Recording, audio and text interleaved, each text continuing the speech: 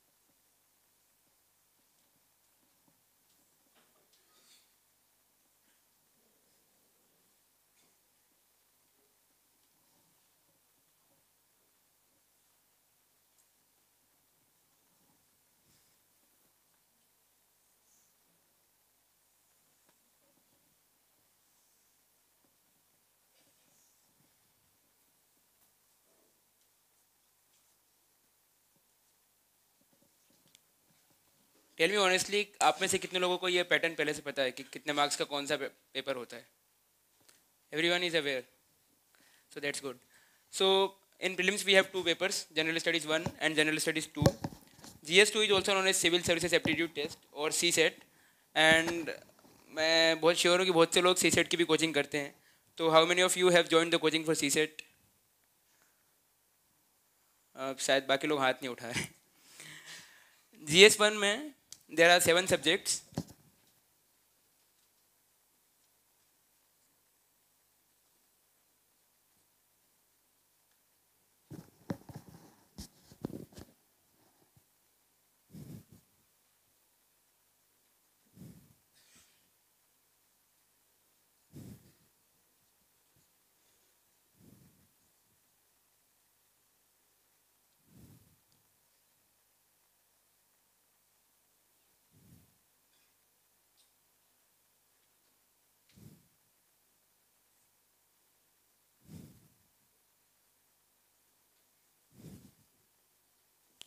We have history, polity, economy, environment, geography, science and tech, and the trickiest current affairs. And the paper is of 200 marks, and out of that, the cutoff is prepared for those students who qualify uh, for writing the mains. And CSET is of 200 marks, and you just have to score 33% marks, that is 66.66 marks, to qualify for writing the mains after clearing the cutoff of GS1. And uh, my simple advice for GS2 or CSET would be that just solve the five or six year papers of previous years of CSET and you will have a basic idea, a rough idea that what is the actual demand of CSET paper and you can easily solve the paper thereby.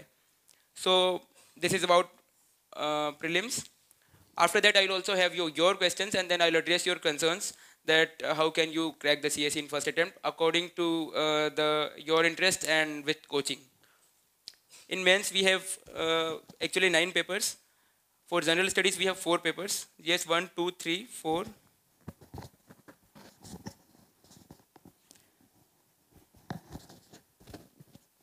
In GS1, we have history, then we have society portion and geography. In history, the history is different from GS1 history because here we also have world history. And uh, normally one to two questions are asked every year from world history portion. And in GS2, we have polity, governance, social justice, and international relations. GS3 has many topics like economy, then intellectual property rights, cyber security, internal security, armed forces, uh, and cyber security, disaster management, and a number of topics. In GS4, we have ethics, integrity, and aptitude, in which there are two sections. The first one is a static portion, and the second one is case study. Uh, we have optional, in which we have two papers, the one and two, and there are, um, I think, more than 30 or 40 subjects, uh, out of which you have to choose one subject as your optional. I'll also tell you that how to choose the right optional. Many of you would have chosen the optional, but then also I, I would uh, give you some criteria to choose the optionals. Then we have essay paper in which we have two topics to write on, the topic 1 and topic 2, and each topic is of 125 marks, and the essay is of 2 to 50 marks. In language paper, we have two papers. The first one is English, that is compulsory for all the students. The second one is of regional language, that can be Tamil, Telugu, Malayalam, Kannada, Marathi, Gujarati, as of your own choice. And uh, it is uh, not compulsory for some students, like for students belonging to northeastern areas and some other areas. And then we have personality test, which is of 275 marks. A lot of students are worried that uh, they cannot crack the personality test or how can they present their personality. But I would uh, mention here that it is just of 275 marks. The mains is of 1750 marks. This 250 plus 500 plus 1000. So it makes a total of around 1750 marks. So you can score better marks in mains and then you cannot be worried about the personality test. Eh, here you can get at, le at least if you are below average then also you will get around 120 or 130 so you need not to be worried about that so this is all about uh, the civil services examination pattern and now i'll uh,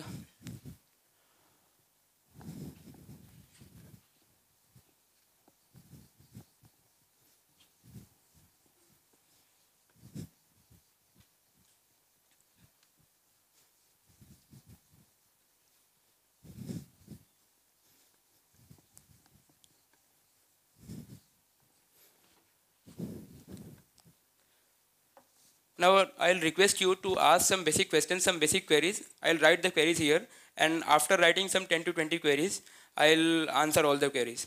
So ask the basic stuff in whichever area you have doubt or you have some problems. I'll cover that.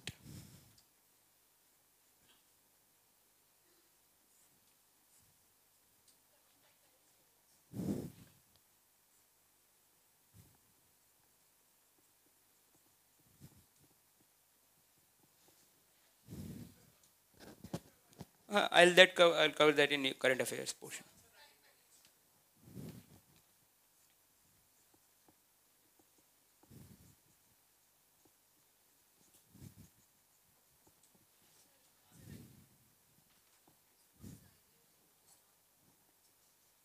I'll cover every stuff of answer writing in this portion.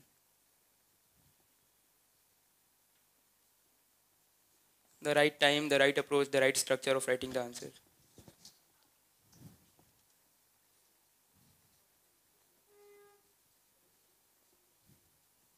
I think my writing is legible. What you have asked? Optional.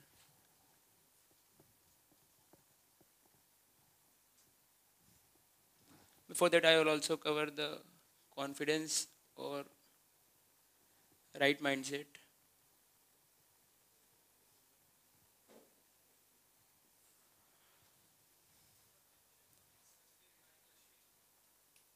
I'll cover after that. Sociology optional. I'll cover that in optional paper. AC.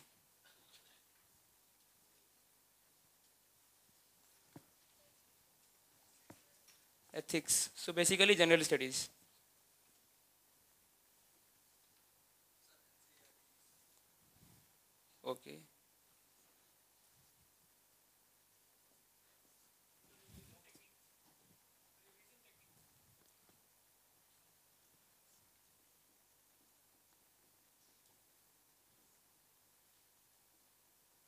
This was my technique. I will elaborate this.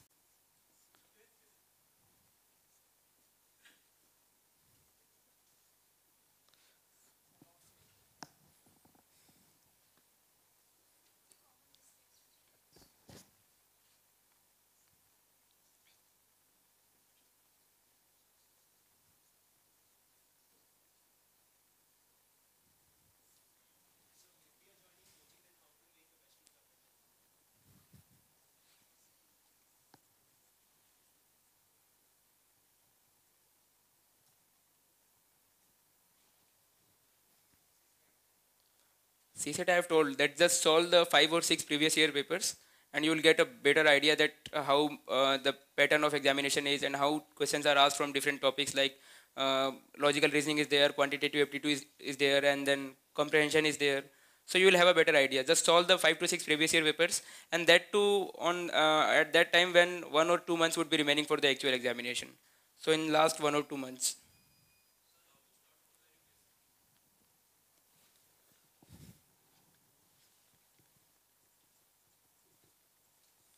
So after uh, covering all this, then also you can ask some doubts. But before that, uh, let me cover all these topics. So first, I would like to start with confidence. That is the right mindset. And confidence is very essential for the examination because देखो होता क्या है अगर confidence नहीं है आपने पूरी polity पढ़ ली है लक्ष्मीकांत पढ़ लिया है बेयर एक्ट पढ़ लिया है कोचिंग के जो आपके फैकल्टी से सबने सब कुछ कवर कर दिया है उसके बाद भी कॉन्फिडेंस अगर आपके पास नहीं है तो जो आप क्वेश्चन आपको आते हैं there are four options in the question तो जो आपको आते हैं, वो भी आप गलत टिक करोगे। क्यों?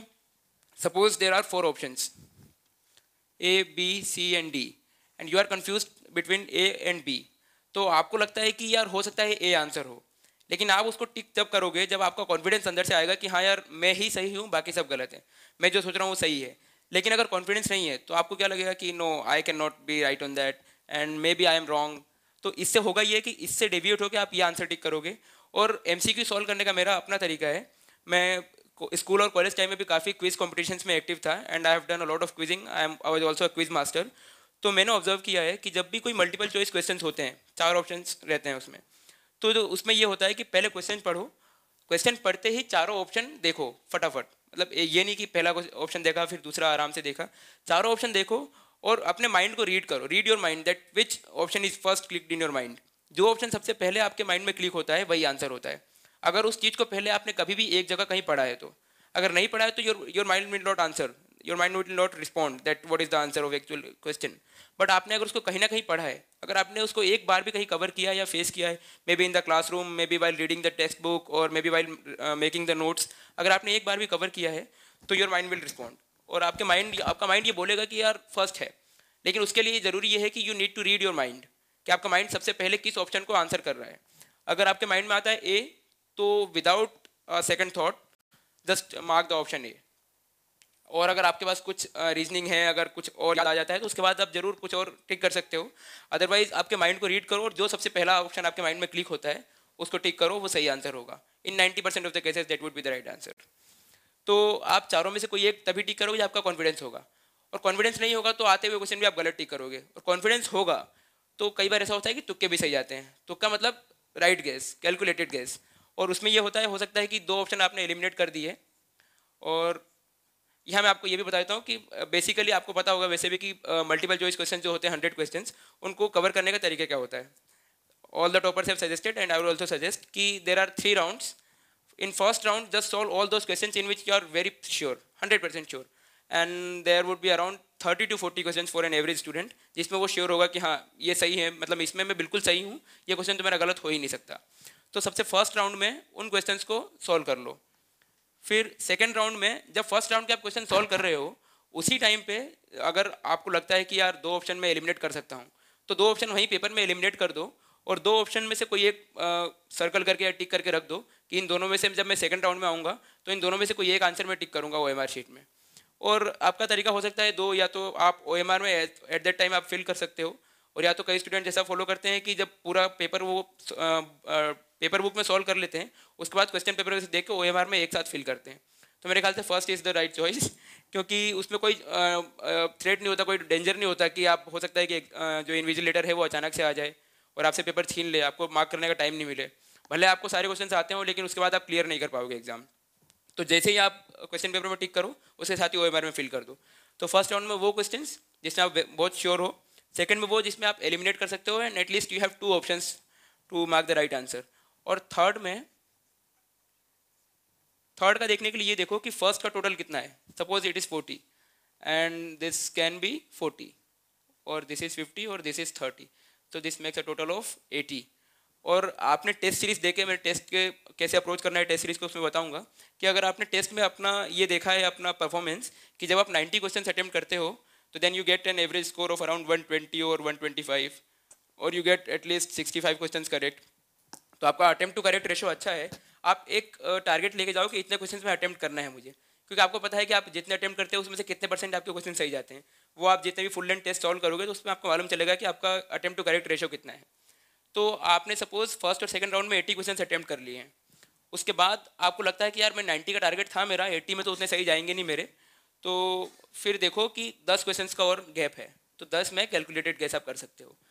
और हो सकता है कि आपका टारगेट एट्टी फाइव हो। Some have the target of eighty और सेवेंटी फाइव इवन तो आपके टारगेट के अकॉर्डिंग आप करो। अगर आपका टारगेट एटी फाइव है तो पाँच में कैलकुलेटेड गैस करो आप। और आप ये रिस्क ले सकते हो, क्योंकि अगर आप सपोज़ सेवेंटी फाइव और या फिर सेवेंटी क्वेश्चन ही सॉल्व करते हो तो ये पक्का है कि फिर अगर आपका अटेम्प्ट टू करेक्ट रेशो अच्छा नहीं है तो आपका सिलेक्शन नहीं होने वाला। तो जब नहीं होने वाला है तो सब कुछ झोंक दो। फिर बीस में तुक्के मारो। हो सकता है उससे ही सिलेक्शन हो जाए। क्योंकि आपको जब बस प्रीलिम्स क्लियर करना है, अगर आपके पास मेंस की आंसर राइटिंग स्किल्स अच्छी है, अपनी, अच्छी से प्रैक्टिस किया है, आपने ऑप्शनल कवर किया है, उसका बेस्ट यूज़ आप तभी ले सकते हो जब आपको मेंस लिखने का मौका मिले। और मेंस लिखने का मौका नहीं मिलेगा तो पूरे साल भर की मेहनत बेकार जाएगी। तो उसके लिए यहाँ थोड़ा बहुत रिस्क ले सकते हो आप। अगर आप सेवेंटी ही अटैम्प्ट कर पा रहे हो और उसमें लगता है कि आपको नहीं होगा तो फिर गैस गैस वर्क करो जितना कर सकते हो इंटेलिजेंट गैस वर्क छोड़ के मत आओ। मतलब बाहर आने के बाद लगना चाहिए, थोड़ी तो फीलिंग होनी चाहिए कि यार हो सकता है। आंसर की से फिर मैच करो, फिर देखो होता है कि नहीं होता है। लेकिन कोई कोई वहाँ पे मतलब कोई संशय मत छोड़ो कि यार बात बाहर निकल के लगे, यार कि सत्तर ही अटैम्प्ट किए, होना ही नहीं है इस बार। तो ये कम से कम अपने माइंड में रखना कि अगर आपका अटैम्प्ट करेक्ट रेशो अच्छा नहीं है तो थोड़ा ज़्यादा अटैम्प्ट करके आओ, ताकि थोड़ा बहुत होप रहे बात का। तो दैट इज़ कॉन्फिडेंस कि कॉन्फिडेंस होना चाहिए माइंड में। कोई भी कर सकता है। कॉन्फिडेंस से मुझे एक और चीज़ है कि जो मिथ्स है मार्केट में there are lot of myths कि you have to be intelligent you have to have 90 percent score in tenth twelfth and graduation आपका ग्रेजुएशन आईआईटी से होना चाहिए या फिर you just have to be a Delhiite or from a urban background तो ये सब कोई ज़रूरी नहीं है इसमें। ये सारे मिथ्स हैं और इन इन सारे मिथ्स में आपको फंसना नहीं है। कॉन्फिडेंस रखो, कोई भी कर सकता है। You might be aware about Junaid Ahmad जिनका इस बार थर्ड रैंक है। उनका टेंथ में सिक्सटी परसेंट के अराउंड है ट्वेल्थ में सिक्सटी परसेंट के अराउंड है और ग्रेजुएशन में भी around sixty to sixty five percent है। तो he was just an average student उन्होंने भी एग्ज़ाम क्लियर किया है, आप भी क्लियर कर सकते हो। मैं खुद इंदौर से हूँ, मैंने दिल्ली में इससे पहले कभी पढ़ाई नहीं की। मैं दिल्ली आया ही नहीं कभी इसके पहले। मैं कोचिंग करने आया था, उसके पहले कभी मैं दिल्ली नहीं आया। और ग्रेजुएशन में मेरी एट्टी या एटी टू परसेंट थे टेंथ ट्वेल्थ में एटी और एट्टी टू परसेंट थे। और ना मैंने बी किया है, ना बी वगैरह, और B commerce I am just graduate in और my age is also twenty तो ये भी आप देख सकते हो कि फ़र्स्ट अटेम्प्ट में इजिली आप एग्ज़ाम क्लियर कर सकते हो। एक एवरेज स्टूडेंट एग्ज़ाम को क्लियर कर सकता है लेकिन अगर उसकी अप्रोच सही हो तो। तो just have confidence and right mind set right mind set मतलब ये कि जैसे आपने एक बार बुक लिस्ट बना ली तो आपने जो बुक लिस्ट बनाई है अपने कोचिंग को देख के हो सकता है कि आपकी कोचिंग में जो जो सब्जेक्ट्स कवर हो रहे हो उसके बाद आपको कोई बुक पढ़ने की ज़रूरत ना हो। तो वो ठीक है लेकिन उस, उसके बाद भी आपने कोई बुक लिस्ट बनाई है suppose you are reading Laxmikanth और कोई बीच में आपका फ्रेंड आता है वो बोलता है कि यार सुभाष कश्यप अच्छी है कोई बोलेगा डी डी बसु अच्छी है कोई बोलेगा कि यार तूने ये पी एम बख्शी नहीं पढ़ी तो ऐसे बहुत सारे दोस्त आएँगे बीच में। लेकिन आपको डिसाइड करना है कि आपकी स्ट्रेटजी सही है कि नहीं। मेरी भी बहुत सारी स्ट्रेटजी थी, मुझे लगता था कि यार एग्ज़ाम क्लियर नहीं होगी तो पता नहीं ये सही है कि नहीं। लेकिन जब मेरी एग्ज़ाम क्लियर होगी तो I am in front of you and I am telling you my strategy तो जो आप स्ट्रेटजी अपनी बनाओगे, वो टॉपर से डिफरेंट हो सकती है, वो बिल्कुल यूनिक हो सकती है, लेकिन जब आप एग्ज़ाम क्लियर करोगे तो वो आपकी स्ट्रेटजी होगी और वो सक्सेसफुल स्ट्रेटजी होगी। तो कोई भी दोस्त या फिर बीच में कोई भी आपको कुछ सजेस्ट कर रहा है तो उसके उसमें ना फंसें। अपना माइंड यूज़ करें, आप कोई भी आंसर लेने के लिए और अपनी मेंटल रीजनिंग का यूज़ करें। जब भी आपको लगता है कि यार कोई बोल रहा है कि करंट अफेयर्स के लिए चार, पाँच छः सोर्सेज बता रहा है वो आपको, और आपको लगता है कि वो सही नहीं है तो बिल्कुल फॉलो मत करो उसे। मैं भी ओआरएन में बहुत कम आता था मैं। मतलब कोचिंग होती थी कोचिंग से मैं वापस घर चले जाता था, लेकिन इधर मार्केट में कभी नहीं आता था, क्योंकि यहाँ बहुत गप्पे शप्पे लोग लड़ाते हैं कभी। मैं अगर बुक शॉप पे चला गया, मान लो के में चला गया मैं कुमार बुक सेंटर पे, वहाँ मैं देखूँगा स्टूडेंट्स को, वो तो कुमार बुक सेंटर वाले भी लोगों को सजेस्ट करते हैं। मैंने देखा है कि फैमिली मेंबर्स आते हैं पेरेंट्स वो पूछते हैं, यार, हमारे बच्चे के लिए कौन सी बुक सही है? तो बोलेगा पॉलिटी के लिए ये ले लो इंटरनेशनल रिलेशन के लिए ये ले लो जोग्राफी के लिए हिस्ट्री के लिए। मतलब वो अब बुक लिस्ट बताता है स्टूडेंट्स को। तो इसलिए मैं अवॉइड करता था कि कम से कम आऊँ, मेरी एक एक बार जो बुक लिस्ट बन गई उसको रिलीजियसली फॉलो करूँ और उसके बाद अगर थोड़ा बहुत अमेंडमेंट की कोई गुंजाइश है तो मैं अमेंडमेंट करूँ। तो हैव राइट माइंड सेट और जो बेसिक किसी ने अप्रोच पूछा था कि बेसिक अप्रोच क्या होता है for a first attempt student तो उसके लिए ये होता है कि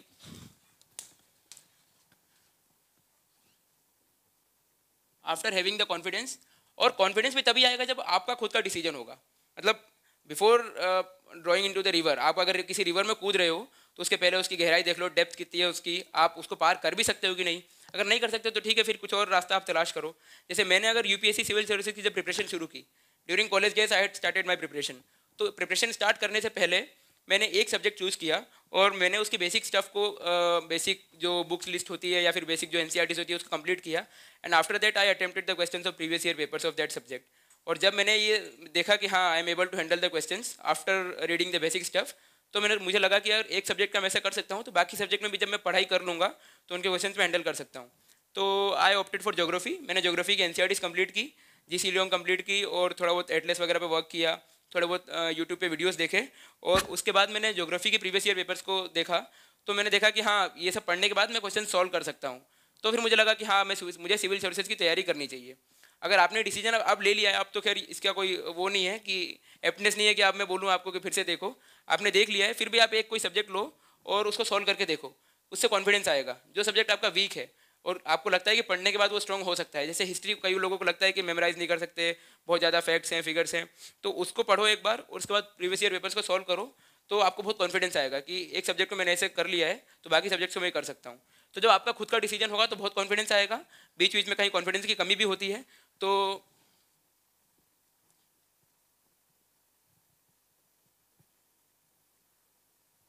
फिर मैं ये भी बताऊँगा सोर्स ऑफ़ मोटिवेशन क्या है? और कुछ डिस्ट्रैक्शंस जो होते हैं, मुझे लगता है डिस्ट्रैक्शंस किसी ने नहीं पूछा क्योंकि सबको मालूम है डिस्ट्रैक्शंस होते क्या हैं। तो एग्ज़ाम को अप्रोच करने का तरीका ये है कि सबसे पहले सिलेबस देखो कि what is the core demand of the examination like मैंने बताया कि प्रीलिम्स में कौन कौन से सब्जेक्ट्स हैं, सात सब्जेक्ट्स हैं। मेनी ऑफ़ यू और many of us are not aware about the subject तो पहले सब्जेक्ट देखो, फिर मेंस का भी देखो। कई लोग होते हैं कि बस प्रीलिम्स का देख के आ जाते हैं कि हाँ हिस्ट्री होता है पॉलिटी होता है जोग्राफी तो होता है। लेकिन मेंस का सिलेबस आप देखोगे तो there is a very concise syllabus and every topic has been mention in the syllabus और उसी टॉपिक से क्वेश्चन आते हैं। मतलब कोई भी क्वेश्चन मैंने नहीं देखा जो टॉपिक से, जो भी टॉपिक्स अगर उसमें मेंस के सिलेबस में मेंशन है उससे बाहर कुछ आता हो। प्रीलिम्स का टॉपिक थोड़ा ज़रूर सब्जेक्टिव है और थोड़ा बहुत कहीं कुछ भी मतलब everything under the sun is asked लेकिन मेंस में जो भी सिलेबस दिया हुआ है, उसी से क्वेश्चन आते हैं और ऑप्शनल को तो फिक्स्ड है कि जो पेपर वन पेपर टू में दिया हुआ है सिलेबस जितने भी चैप्टर्स हैं, उन्हीं चैप्टर्स में से क्वेश्चन आते हैं। तो इसके लिए ज़रूरी है कि सिलेबस देखो, क्योंकि सिलेबस देखने के बाद आपको मालूम चलेगा कि पढ़ना क्या है। न्यूज़पेपर में क्या पढ़ना है, या फिर बेसिकली जो पूरा ईयर ईयर लॉन्ग प्रिपरेशन है आपका, जो कोचिंग में पढ़ा रहे हैं आपको, उसमें पढ़ना क्या है और अवॉइड क्या करना है। फिर प्रीवियस ईयर पेपर्स सिलेबस के बाद प्रीवियस ईयर पेपर्स को देखो और जब भी आप कोई सब्जेक्ट पढ़ रहे हो हो सकता है कि आज कोचिंग में आपका पॉलिटी हुआ हो तो उस दिन घर पे जाओ पॉलिटी का जो टॉपिक हुआ है, जैसे प्रेसिडेंट अगर कवर हुआ है आज क्लास में तो घर जाओ प्रेसिडेंट में से देखो कि प्रीवियस ईयर में कैसे कैसे क्वेश्चन पूछे हैं उन लोगों ने। और अगर पाँच से छः साल को पेपर्स देखोगे तो आपको लगेगा कि हाँ बेसिक क्वेश्चन ही पूछते हैं, इतना कोई डरने की ज़रूरत नहीं है। प्रीवियस ईयर पेपर्स को देख के आपका सारा डर दूर हो जाएगा। कोचिंग के टेस्ट मत देखना प्रीवियस ईयर पेपर देखना एग्ज़ाम के। 2013 से लेके आप नाइनटीन तक के पेपर देख सकते हो। उससे आपको बहुत अच्छा आइडिया लगेगा कि पेपर सिंपल ही होता है क्वेश्चंस भी सिंपल ही पूछते हैं और इतना कोई बहुत ज़्यादा पढ़ने की ज़रूरत नहीं है, बस बेसिक स्टफ़ पूरा करने की ज़रूरत है हर सब्जेक्ट का।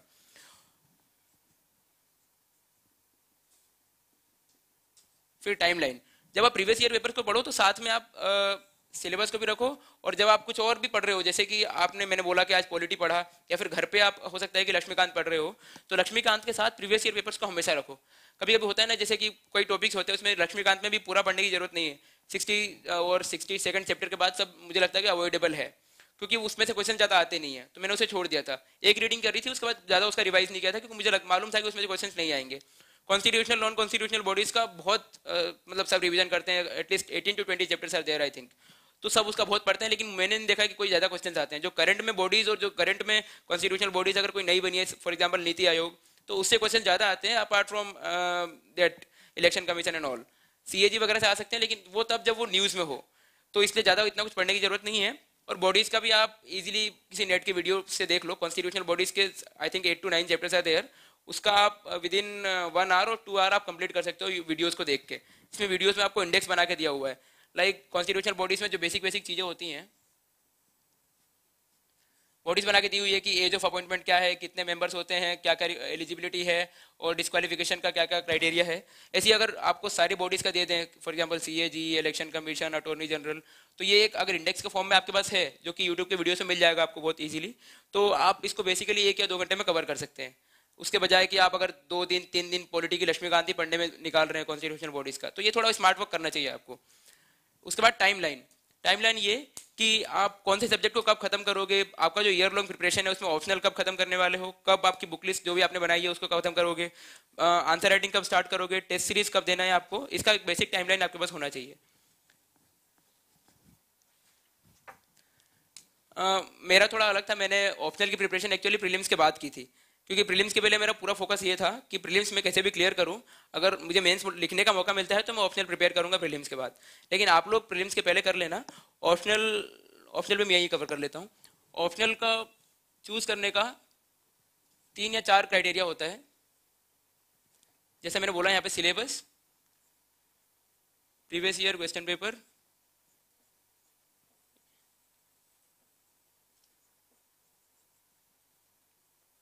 interest and trend आप पहले तो सिलेबस की जो आ, कहीं भी एक जैसे ये बुक आती है केबीसी पे केबीसी नैनो की एक बुक है कि सिलेबस की जो पूरी लिस्ट बनाई हुई है उसमें सारे सब्जेक्ट्स का सिलेबस दिया हुआ है जितने भी ऑप्शनल सब्जेक्ट्स हैं। तो वो एक बुक ले लो बहुत छोटी सी बुक है पतली सी। उसमें स्क्रॉल करो सारा।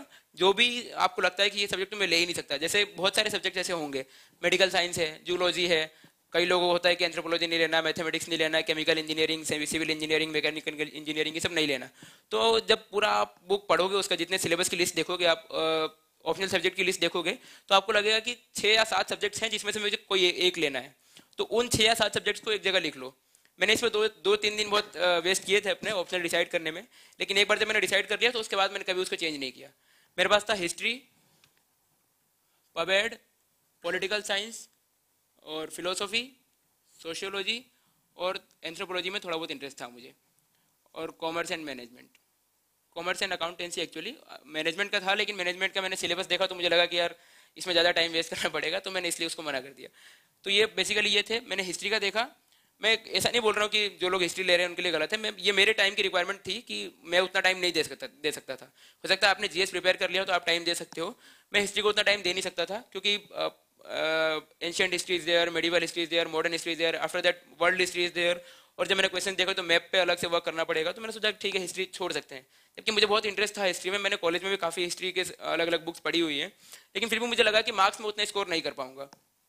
तो उसके बाद पवेट था पवेट एक बहुत एवरग्रीन सब्जेक्ट रहा है शुरू से ही। और जब मैंने, जब मैं स्कूल डेज़ में या कॉलेज डेज़ में था तो ऑप्शनल में खाली पवेट ही सुनता था। कि ऑप्शनल पब्लिक एडमिनिस्ट्रेशन होता है। मुझे बाद में मालूम चला कि there are more than thirty subjects तो पबेट मैंने इसलिए सोचा कि इसमें, इसका ट्रेंड अच्छा नहीं था। तो ट्रेंड और इंटरेस्ट भी मुझे उतना नहीं आ रहा था टॉपिक को देख के। तो उसके कारण मैंने पबेट मना किया। फिर पॉलिटिकल साइंस का भी सिलेबस बहुत बड़ा था वास्ट था। उसको कवर करने में at least four to five months भी टेक तो इसलिए उसको मना किया। फिलोसॉफी में भी ट्रेंड अच्छा नहीं था। सोशोलॉजी का मैंने देखा तो जनरल टॉपिक्स थे। कास्ट है ट्राइब है वुमेन एम्पावरमेंट है लिटरेसी है एजुकेशन है फैमिली है। तो मुझे लगा कि हाँ सोशोलॉजी थोड़ा जनरल है। बाकी कॉमर्स एंड अकाउंटेंसी में मेरा अकाउंट्स थोड़ा वीक है, क्योंकि मेरा इलेवन ट्वेल्थ में पीसीएम था और ग्रेजुएशन में मेरा बी कॉम ऑनर्स था। तो मुझे लगा कि यार अकाउंट्स में बेसिक्स हो सकता है, उतना अच्छा ना हो तो मार्क्स मुझे अच्छे नहीं आए। और एंथ्रोपोलॉजी का बहुत सारा सब्जेक्ट मैटर जो है वो सोशोलॉजी से ओवरलैप करता है। तो इन सारे फैक्टर्स को देखते हुए सिलेबस और प्रीवियस ईयर पेपर में देखता रहता था। जैसे अगर मुझे पबेट देखना है तो मैं उसके प्रीवियस ईयर पेपर को देखूँगा सिलेबस को देखूँगा। और जब मुझे लगेगा कि यार नहीं यार, अगर इसमें जनरल आंसर भी मैं नहीं लिख सकता तो उस सब्जेक्ट को मैं काट दूँगा।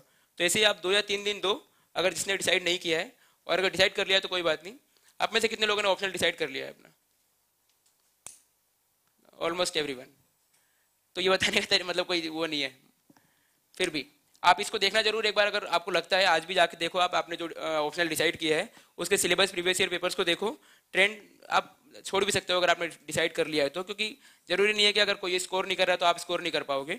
लेकिन इंटरेस्ट देखो अपना, कि कई कई बार ये होता है कि आपको, मुझे मतलब ये कंफर्म तो नहीं था कि मैं फ़र्स्ट अटेम्प्ट में क्लियर कर लूँगा। मैं पूरी अपनी जान लगा रहा था कि हाँ करना है मेरे को फ़र्स्ट अटेम्प्ट में। लेकिन ज़रूरी नहीं था कि मैं फ़र्स्ट अटेम्प्ट में क्लियर कर लेता। हो सकता है चार या पाँच अटेम्प्ट लग जाते। तो जब चार या पाँच अटेम्प्ट लगेंगे तब आपको वो ऑप्शनल सब्जेक्ट चार साल तक आप पढ़ सकते हो क्या? जैसे सोशियोलॉजी है। तो सोशियोलॉजी का अगर मेरा फ़र्स्ट अटेम्प्ट में क्लियर नहीं होता तो मुझे तीन या चार साल पढ़ना पड़ता। लेकिन आप भी यही देखो कि अगर आपने कोई ऑप्शनल लिया है तो आप पढ़ सकते हो क्या तीन चार साल उसको? अगर मतलब मैं तो चाहूँगा कि सबका हो जाए इसी बार। अगर नहीं होता है तो आप पढ़ सकते हो क्या उसको चार या पाँच साल? अगर चार या पाँच साल नहीं पढ़ सकते तो एक साल के लिए मत लो उस सब्जेक्ट को। मतलब ऐसा लोगो कि लॉन्ग टर्म में आपका कुछ यूज़ हो उसका। तो ऐसे आप ऑप्शनल डिसाइड कर सकते हो। मेरा ऑप्शनल सोशियोलॉजी था। मैंने विकास रंजन सर के यहाँ कोचिंग की थी। मैं प्रिलिम्स के प्रिलिम्स था शायद I think third of June को। इस बार शायद सेकंड ऑफ़ जून को था। तो मैं थर्ड ऑफ़ जून को मैं एग्ज़ाम जब देखे जब आया तो मैंने देखा कि हाँ I am clearing prelims but अब सबसे बड़ी प्रॉब्लम ये थी कि मैंने ऑप्शनल पढ़ा ही नहीं है। तो फिर मैंने कोचिंग ढूंढना शुरू की, मैं गया सर के पास। तो सर ने बोला कि प्रिपेयर तो हो जाएगा चार महीने में, लेकिन तुमको थोड़ा ज़्यादा एफर्ट्स देने पड़ेंगे। क्योंकि प्रिलिम्स के बाद प्रिपेयर करने में बहुत मुश्किल होती है। तो मैं, मैंने बोला कि कैसे कर सकते हैं? तो सर ने बोला, क्लास में बैठो, अगर क्लास से हो जाए तो। मैंने fifteen to twenty lectures I took but उसके बाद मुझे लगा कि अगर इसी स्पीड से चले तो सितंबर तक कोर्स कंप्लीट होगा। और सितंबर में ही मेरी मेंस की एग्ज़ाम थी। तो मैं ना फिर रिवाइज कर पाऊँगा, ना टेस्ट सॉल्व कर पाऊँगा, ना अपना इंप्रूवमेंट कर पाऊँगा उस आंसर राइटिंग स्किल्स में सोशियोलॉजी की। तो सर से मैंने उनके ऑनलाइन वीडियोस ले लिए। बेसिकली जो रिकॉर्डेड लेक्चर्स होते हैं प्रीवियस सेशंस के, वही सेम ही होते हैं। तो मैंने बोला कि सर रिकॉर्डेड लेक्चर्स दे दो मुझे। तो रिकॉर्डेड लेक्चर्स ले लिए और एक एक दिन में दो दो तीन तीन वीडियोस देख के मतलब एक एक दिन में दो दो तीन तीन क्लासेस देख के कभी कई बार वीडियो की स्पीड बढ़ा दी, मैंने टू की स्पीड पे देख रहा हूँ मैं, या फिर टू पॉइंट फाइव की स्पीड पे देख रहा हूँ, और साथ में नोट्स बना रहा हूँ। तो उसमें मैंने fifty five to sixty days में मैंने ऑप्शनल कंप्लीट किया अपना। उसके बाद टेन डेज़ में मैंने रिविजन किया और फिर सर की टेस्ट सीरीज़ सॉल्व की। तो उसमें शुरू शुरू में कम मार्क्स आए, लेकिन ग्रेजुअली इंप्रूव हुआ और कई टेस्ट में उनके यहाँ हाइएस्ट स्कोर भी था मेरा। तो वहाँ से मेरा कॉन्फिडेंस आ गया मुझे कि हाँ अगर यहाँ टेस्ट सीरीज़ में अच्छा स्कोर हो रहा है तो वहाँ भी मुझे स्कोर अच्छा होगा। तो ऑप्शनल का आप देख सकते हो ऑप्शनल का तीन बेसिकली टाइम होता है जब आप प्रिपरेशन स्टार्ट कर सकते हो ऑप्शनल की। पहला जून बेसिकली मैं अज्यूम कर रहा हूँ कि सब जून से ही प्रिपरेशन स्टार्ट करते हैं। जब वो ग्रेजुएशन कंप्लीट करते हैं अपना या फिर जब जून में कोचिंग ज्वाइन करते हैं बैच एक जून होता है, दूसरा सेप्टेम्बर और अक्टूबर, जब सेकेंड बैच स्टार्ट होती है किसी भी कोचिंग की, और तीसरी होती है आफ्टर प्रीलिम्स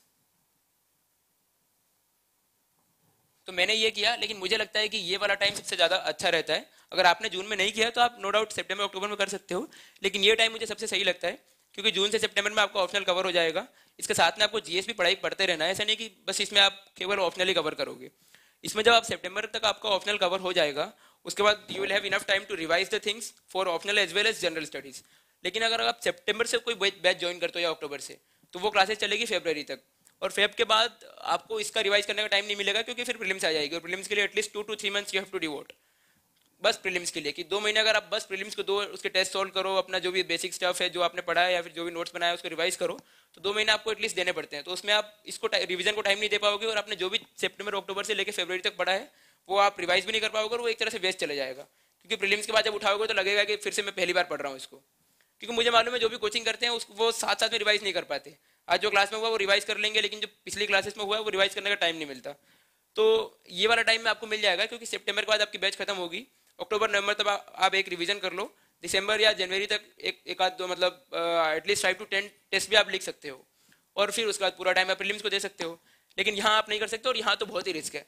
यहाँ तो कब करोगे, कब नहीं मतलब वो तो पता नहीं कैसे हो गया मेरा तो मैं बोल सकता हूँ। लेकिन मैं एडवाइस नहीं करूँगा कि ये रिस्क आप मत लेना। प्रीलिम्स के पहले आप कर सकते हो इसको।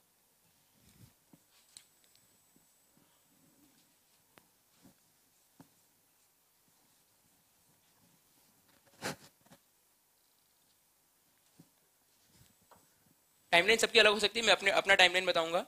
मैंने ग्रेजुएशन के पहले मतलब ग्रेजुएशन के टाइम पे भी काफ़ी सारे सब्जेक्ट्स कवर किए थे लेकिन बेसिक बेसिक स्टफ़ उतना मैंने हार्ड कोर प्रिपरेशन नहीं की थी। तो एक तरह से फिर से मैंने प्रिपरेशन स्टार्ट की। जून में मैं यहाँ आया जब मैंने कोचिंग ज्वाइन की। तो जून से मैंने आ, मैंने ये बनाया कि जो भी मेरी बुक लिस्ट है book list I think all of you are aware की बुक लिस्ट होती क्या है कौन कौन से सब्जेक्ट की वो बताने की ज़रूरत नहीं है। फिर आपको अगर कोई डाउट हो तो आप इसके बाद पूछ सकते हैं किसी भी सब्जेक्ट का पर्टिकुलर तो आपने कोई बुक लिस्ट बनाई। तो मेरा ये था कि एक दिन में मैं दो सब्जेक्ट पढ़ता था कि जैसे मान लो मेरा कोचिंग हुआ साढ़े दस तक मेरा कोचिंग हो जाता था। आपका जो भी टाइम हो आप उसके अकॉर्डिंग कर सकते हैं। टेन थर्टी में मेरा कोचिंग खत्म होता था। उसके पहले मैं कुछ नहीं पढ़ता था एट टू टेन थर्टी में यही पढ़ता था। आ, मैं लगभग टेन फोर्टी फाइव तक घर पहुँचता था। फिर मैं ग्यारह बजे से लेकर बारह बजे तक पेपर पढ़ लेता था। मतलब न्यूज़ पेपर को एक घंटा आप जब भी आपको लगे कि वन आवर और मे बी दैट किसी किसी को दो या तीन घंटे लगते हो उसको थोड़ा रिड्यूस करो। वन आवर में आपका कंप्लीट हो जाना चाहिए अलॉन्ग विथ नोट मेकिंग तो मैं ग्यारह से बारह तक पढ़ता था, बारह से, ये समझ लो, एक बजे तक या फिर आधा एक घंटा जो भी खाना वाना, जो भी खाना है मुझे। उसके बाद मैं एक से समझ लो कि पाँच या छः तक एक सब्जेक्ट कवर करता था, कोई भी एक सब्जेक्ट जनरल स्टडीज़ का, मे बी पॉलिटी फिर मैं छः बजे से लेके, इसमें थोड़ा बहुत रिफ्रेशमेंट वगैरह और रिक्रिएशन वगैरह हो जाएगा थोड़ा बहुत बीच बीच में। छः बजे से बारह बजे तक, इसमें दूसरा सब्जेक्ट मैं कवर करूँगा। क्योंकि एक ही सब्जेक्ट इतना टाइम तक नहीं पढ़ सकते हैं। बीच में हो सकता है आपको जो, दो कोई सब्जेक्ट चूज़ करो मेरा हिस्ट्री अच्छा है तो मैं पहले हिस्ट्री चूज़ करूँगा, और दूसरा सब्जेक्ट में वो चूज़ करूँगा जो मैं जिसमें मैं वीक हूँ। फॉर एग्ज़ाम्पल एनवायरमेंट और geography which is technical in nature तो मैंने जोग्राफी लिया। हिस्ट्री पढ़ूँगा इतनी देर तक, और एक से चार तक मैं पढ़ूँगा, और चार, और उसके बाद जो एक घंटा बचेगा, उसमें जो पहले की चीज़ें पढ़ी हुई पूरा रिवाइज कर लूँगा। और फिर छः बजे से बारह बजे तक मैं जोग्राफी पढ़ूँगा। तो इसलिए मैं मुझे माइंड में मेरा ऐसा होगा कि यार, दो सब्जेक्ट मैंने आज कवर कर लिया इतना सारा पढ़ लिया है। बस वही माइंड में आना चाहिए कि आज बहुत पढ़ लिया है हमने। पढ़ना भी एक्चुअली ऐसा नहीं कि बस कुछ भी पढ़ रहे और बोला कि हाँ पढ़ लिया मैंने। तो माइंड में होना चाहिए आज बहुत पढ़ लिया है मैंने, अब मैं अब राइट ट्रैक पे हूँ। छः बजे से बारह बजे तक और यू कैन से ग्यारह बजे तक। ग्यारह बजे से ग्यारह साढ़े ग्यारह तक जो बेसिक स्टेप होता है करंट अफेयर्स का, जैसे कि इनसाइट्स का daily current affairs P follow कर लिया। पीआरएस की अगर जो मंथली पॉलिसी रिव्यू है वगैरह कुछ आया है तो साइंस मॉनिटर का अगर कोई शो मिस हो गया है तो डाउन टू अर्थ या फिर कुछ भी जो मैं करंट के लिए ऑनलाइन स्टफ़ फॉलो करता था, वो सारे मैं इन आधे घंटे में करता था और इसकी नोट मेकिंग भी कर लेता था साथ में। करंट अफेयर्स की जो कॉपी होती है या फिर न्यूज़पेपर की जो कॉपी होती है उसमें। और इसके बाद फिर कोई अगर बेसिक मिसलेनियस जो चीज़ें होती है फॉर एग्ज़ाम्पल रिवर दे है, या फिर नेशनल पार्क है बायोस्फीयर रिज़र्व है, जो बेसिक बेसिक चीज़ें होती हैं मिसलेनियस चीज़ें, जिसमें से आमतौर पर हर बार एक दो क्वेश्चन आते हैं। बायोम्स हैं, उसमें से पढ़ सकते हैं अगर खाली टाइम इतना मिल रहा है तो। या फिर इसी में जब आपको लगता है कि बहुत आप बोर हो रहे हो तो उसमें आप ये करो कि मेंस के नोट्स बनाना शुरू कर दो। जब आपको लगता है कि यार अब बहुत पढ़ लिया, मैंने बहुत रटाफिकेशन हो गया, बहुत मेमोराइज कर ली चीज़ें, अब कुछ और करते हैं तो उसमें मेंस का आप नोट्स बना सकते हो। मेंस का G S one two three four आपके पास सिलेबस है सिलेबस पे जैसे कि सोसाइटी है तो कम्युनलिज्म है अर्बनाइजेशन है वुमेन एम्पावरमेंट है सोशल एम्पावरमेंट है, इन सारे टॉपिक्स पे आप डेफिनेशन और जो अलग अलग डायमेंशन में नोट्स होते हैं, वो मैं नोट मेकिंग में कवर करूँगा कि नोट्स कैसे बनाते हैं।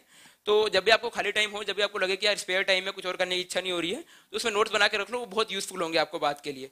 क्योंकि आप आंसर राइटिंग तभी स्टार्ट करोगे जब आपके पास कंटेंट होगा। आप टेस्ट सीरीज़ प्रीलिम्स की तब ज्वाइन करोगे जब आपने एक बार कम से कम सारी बुक लिस्ट को कवर किया है, सारे सिलेबस को एक बार कवर कर लिया है सारे सब्जेक्ट्स को। और मेंस के आंसर राइटिंग अब तब स्टार्ट करोगे जब मेंस के सारे टॉपिक्स हो for example G S one there तो जीएस वन के सारे टॉपिक्स पे आपके पास नोट्स हैं और बेसिक कुछ ना कुछ फैक्ट डेटा मटेरियल कुछ ना कुछ है डायमेंशनल नोट्स हैं, जिससे आप कुछ ना कुछ लिखोगे photo material in the sense तो जब भी आपका स्पेयर टाइम हो तो ये बनाने की कोशिश करो। ये बेसिकली मेरा डेली शेड्यूल होता था। डेली में कुछ प्लान नहीं करता था कि आज मैं इतने चैप्टर्स कवर करने हैं। लेकिन अगर कोई बुक है, जैसे पॉलिटी है।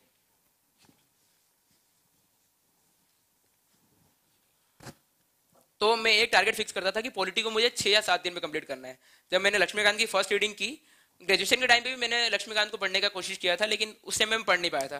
क्योंकि तब उतना इंटरेस्ट नहीं होता जील नहीं होता अंदर से यार कि पढ़ना ही पढ़ना है। तब मैंने पढ़ा तो एक दिन में पढ़ने में मुझे तीन या चार ही पेज पढ़ पाता था मैं। क्योंकि लैंग्वेज बहुत टफ होती है तब ग्रेजुएशन के टाइम पे और इतना कुछ समझ में नहीं आता मतलब छोड़ो यार, बाद में पढ़ेंगे जब पढ़ना होगा तो। लेकिन यहाँ जब पढ़ने आया तो पूरा कॉन्फिडेंस था मोटिवेशन था अंदर से कि करना है, खत्म करना है। तो मैंने पहली पहली रीडिंग इसकी सात या आठ दिन में कंप्लीट की।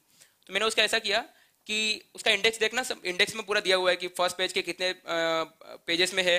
1.1 टू 1.25 2.1 टू 2.6 ऐसे पेजेस दिए हुए हैं।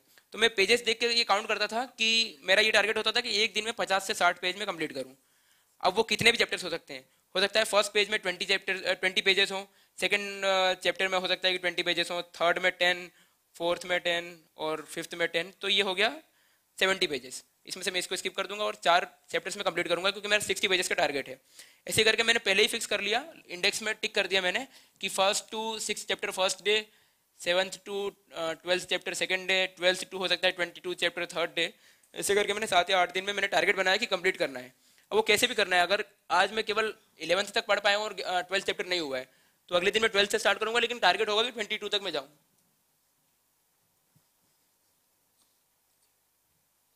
Uh, there is an announcement that there will be a seminar on how to prepare history optional by Nidhi Sivach, who has scored uh, All India rank 83 in Civil Services 2018, and uh, that will be uh, from 1 p.m. to 4 p.m. So history seminar will be there by Nidhi Sivach. His her rank is 83 this year, and she will take lecture on how to crack history optional. 1 to 4 p.m. tomorrow.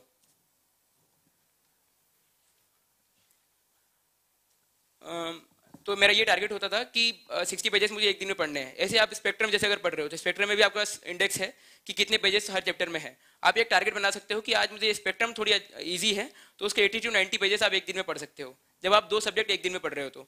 और अगर एक दिन में एक ही subject पढ़ रहे हो तो उसमें थोड़े पेजेस आप बढ़ा सकते हो, क्योंकि एक ही सब्जेक्ट पढ़ना है आपको। तो मैंने ऐसा टारगेट बनाया कि सिक्सटी पेजेस एक दिन में and that makes I think three hundred sixty और four twenty pages in seven days तो ऐसे करके मैंने सात आठ दिन में कंप्लीट किया, और जो बेसिक बेसिक चीज़ें थी वो छोड़ दी, जिसकी कोई ज़रूरत नहीं है पढ़ने की, क्योंकि मुझे सिलेबस और प्रीवियस ईयर पेपर पता था कि कौन सी चीज़ें ज़रूरी है, कौन सी चीज़ें छोड़ने वाली है। तो मैंने ऐसी पॉलिटी खत्म की, फिर ऐसी स्पेक्ट्रम में जब मैं पढ़ने गया तो मैंने टारगेट बनाया कि ये इतनी इतनी पेजेस इतने इतने दिन में मैं खत्म करूँगा। ऐसे आप भी वीकली या फिर जो भी आप स्केड्यूल बना सकते हो आप, और बुक्स को ऐसे कवर कर सकते हो। और जब आप मेंस के नोट्स बनाओ तो उसका आप टारगेट बना सकते हो कि जीएस वन के नोट्स में दस या पंद्रह दिन में कंप्लीट करूँगा जीएस टू के नोट्स में पंद्रह या बीस दिन में कंप्लीट कर लूँगा पूरा सारे टॉपिक्स पे। और टाइमलाइन जो है, आप, अगर कोई डाउट हो तो आप लिखते जाना, बाद में मुझसे पूछ सकते हो आप। तो जून से मेरा अगस्त या सितंबर तक था, सितंबर बोल सकते हो आप, कि फ़र्स्ट रीडिंग मतलब सारे बुक्स की हो जानी चाहिए। अब कई बार स्टूडेंट्स ये बोलते हैं कि, सर रिवाइज कब करें? तो मुझे लगता है जैसे मैंने पॉलिटी जब पढ़ ली सात दिन में तो उसके बाद मैं पॉलिटी के साथ हिस्ट्री तो पढ़ ही रहा हूँ मैं, उसके दो या तीन दिन बाद मेरी हिस्ट्री कंप्लीट होगी। तो फिर अगला जब मैं पढ़ूँगा, जब मुझे टाइम मिलेगा थोड़ा यार कि हाँ लगता है कि पॉलिटी को थोड़ा बहुत भूल गया हूँ मैं या फिर दोबारा पढ़ना चाहिए तो फिर मैं पॉलिटी को उठाऊँगा, उसके पंद्रह या बीस चैप्टर रिवाइज कर लूँगा। मैंने कई वीडियोस में ये बोला कि मैंने पॉलिटी की लक्ष्मीकांत का ट्वेंटी फाइव टाइम्स रिविजन किया था। तो हर जगह मुझसे पूछते हैं कि कैसे रिविजन किया था, पच्चीस बार हो नहीं सकता, शायद ये फेंक रहा होगा, बस बोलने का मौका मिल गया तो कुछ भी बोल रहा है।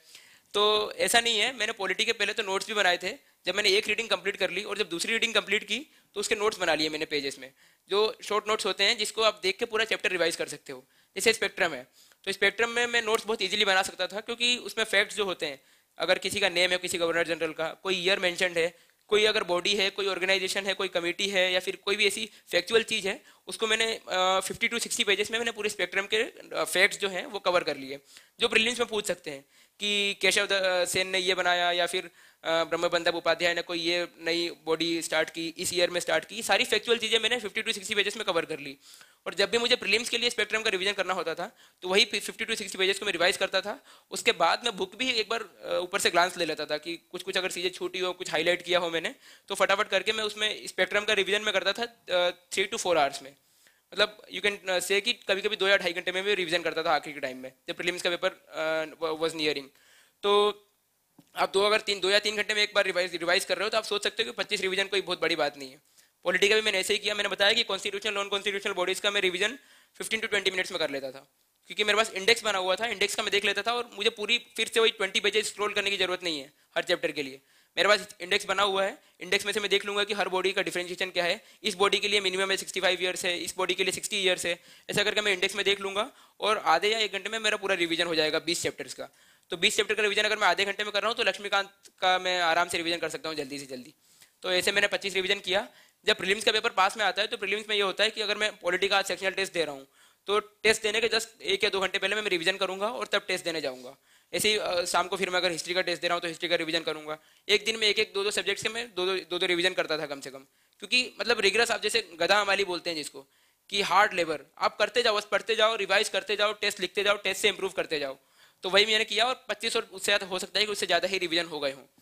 मेरा सितंबर तक था कि फ़र्स्ट रीडिंग कंप्लीट हो जाए। बीच बीच में अगर टाइम मिले तो मैं रिवाइज भी कर सकता हूँ और आप एक चीज़ ये भी फॉलो कर सकते हो। नेक्स्ट आई में भी हो सकता है सेक्शनल टेस्ट हो हर सब्जेक्ट के और प्रीवियस ईयर के भी जो सेक्शनल टेस्ट होते हो, जैसे पॉलिटी के सेक्शनल टेस्ट आप ले सकते हो।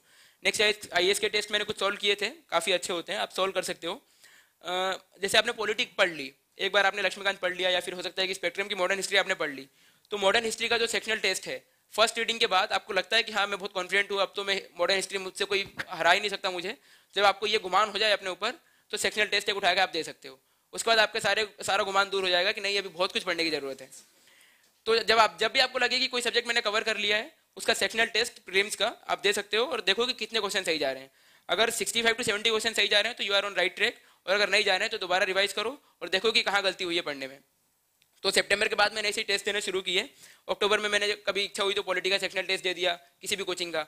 और देखा कि अगर हो सकता है कि कौन कौन से चैप्टर्स मेरे वीक रह गए हों कौन कौन से चैप्टर्स स्ट्रॉन्ग है, उसको कम पढ़ने की ज़रूरत है, जो वीक है, उसको ज़्यादा पढ़ने की ज़रूरत है। तो सेप्टेम्बर या फिर आप सेफ्टी के लिए अक्टूबर भी ले सकते हो या फिर नवंबर भी ले सकते हो अगर आपने ऑप्शनल साथ में प्रिपेयर कर रहे हो तो। तो नवंबर तक फ़र्स्ट रीडिंग कंप्लीट करो, दिसंबर में पूरा रिविजन करो और रिविजन के साथ टेस्ट देते जाओ। दिसंबर में ही आप जब, आपका ऑप्शनल कंप्लीट हो गया है नवंबर या अक्टूबर तक तो दिसंबर से ही आप आंसर राइटिंग प्रैक्टिस स्टार्ट कर सकते हो, क्योंकि आपका बेसिक स्टफ़ है, एक रीडिंग आपने कर ली है करंट अफेयर्स आप छः महीने से पढ़ रहे हो तो छः महीने से करंट अफेयर्स का जो सारे इशूज आपने कवर किए हैं, उसके नोट्स बनाए हैं तो उस पर आप आंसर लिख सकते हो।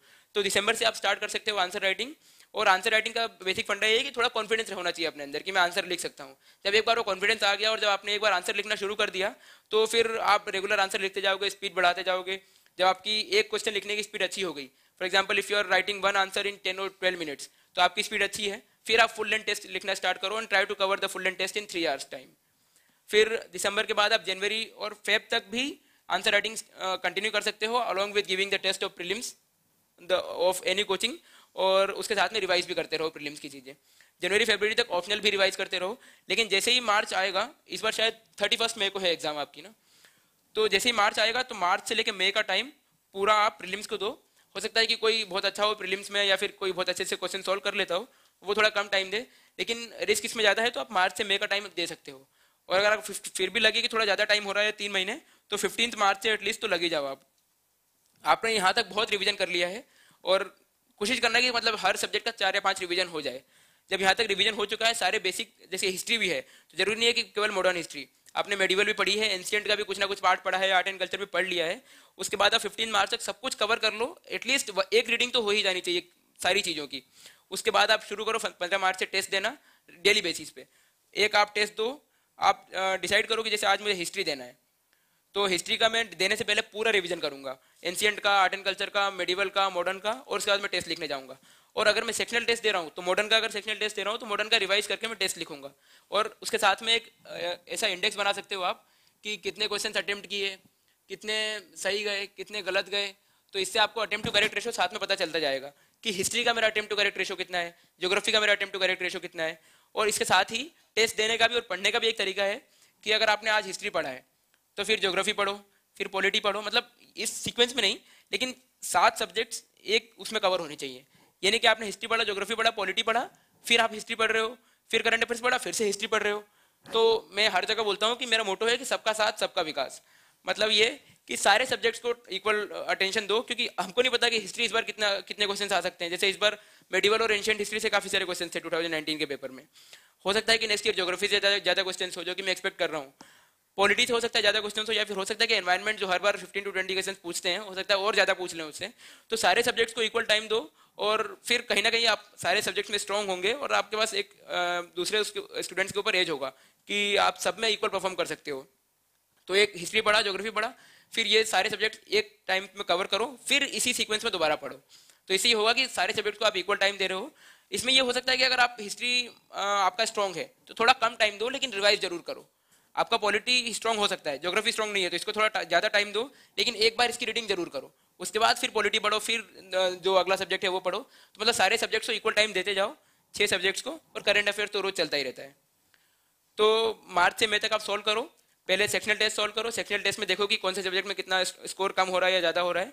अगर आप एक महीने लगातार सेक्शनल टेस्ट दोगे तो बेसिकली सारे सब्जेक्ट्स में आपका कमांड अच्छा हो जाएगा रिविजन बहुत ज़्यादा बार हो जाएगा उसके बाद फुल लेंथ टेस्ट देना स्टार्ट करो जब फोर्टी फाइव और fifty days would be remaining for the paper तो तब फुल लेंथ टेस्ट देना स्टार्ट करो। कई कई बार एक दिन में आप दो या तीन टेस्ट भी दे सकते हो, उसमें कोई प्रॉब्लम नहीं है। और सी सेट का टेस्ट आप वीक में एक दे सकते हो, जब दो महीने बचे होंगे तो। तो सी सेट का मार्केट से मत लेना। जो कोचिंग का है वो सॉल्व कर सकते हो आप, लेकिन प्रीवियस ईयर के पेपर्स पे ज़्यादा ध्यान रखना। जो पिछले अगर पाँच साल के आप आपने सॉल्व कर लिया तो बहुत इजीली एग्ज़ाम क्लियर हो जाएगी। सी सेट में कोई ऐसा कोई कोचिंग या फिर कुछ करने की ज़रूरत नहीं होती। और लैंग्वेज के पेपर में भी आप यही कर सकते हो कि जो इंग्लिश या फिर आपका अगर हिंदी होगा या फिर कोई और सब्जेक्ट है तो उसके प्रीवियस ईयर के पेपर्स को अगर सॉल्व करने का टाइम नहीं है तो कम से कम देख लो। देखने से मालूम चल जाएगा कि कल पेपर में आने क्या वाला है। पैटर्न वही रहता है, बस वर्ड्स थोड़े चेंज हो जाते हैं। तो लैंग्वेज के लिए भी वही फॉर्मूला है। तो टाइम लाइन से सबका क्लियर है। अपने, अगर आपने ऑप्शनल अक्टूबर से लेकर फेब्रवरी तक कर रहे हो तो थोड़ा अमेंडमेंट कर सकते हो इसमें। अगर आप ऑप्शनल पहले कर रहे हो तो ऐसा कर सकते हो। और साथ में करंट अफेयर्स को टाइम देते जाना आप। और नोट मेकिंग इसमें तब करोगे मेंस की आप जब आपके पास थोड़ा बहुत खाली टाइम होगा, ये सारे बुक्स पढ़ने के बाद। जब भी टाइम मिले तो नोट मेकिंग करते जाओ। क्योंकि नोट मेकिंग करने का यही है कि कोई भी एक टॉपिक लिया, उस पर बेसिक डेफिनेशन वगैरह देखी डायमेंशन देखे, अगर आपके कोचिंग के नोट्स होंगे हर टॉपिक पे, उससे भी आप एक्सट्रैक्ट कर सकते हो और अपने खुद के नोट्स बना सकते हो। जब सब बन जाए तो फिर आंसर राइटिंग स्टार्ट करो। यार, लक्ष्मीकांत के नोट्स मैंने बनाए तो थे, लेकिन मैं सजेस्ट नहीं करूँगा बनाना, क्योंकि उसके, उससे होता यही है कि फिर एक और नई लक्ष्मीकांत तैयार हो जाती है। वही उतने ही पेजेस लग जाएँगे आपको बनाने में। कुछ चैप्टर्स के बना सकते हो। आप जैसे पार्लियामेंट के बना सकते हो, बहुत इंपॉर्टेंट है। फंडामेंटल राइट्स के बना सकते हो। जो फ़र्स्ट चैप्टर है, उसका बना सकते हो बेसिक वाला। और अमेंडमेंट और जो बेसिक बेसिक चीज़ें होती हैं प्रेसिडेंट की जो छः पावर्स होती हैं, वो बना सकते हो आप। कुछ कुछ चीज़ों को बनाओ, सब सब चीज़ों को मत बनाओ।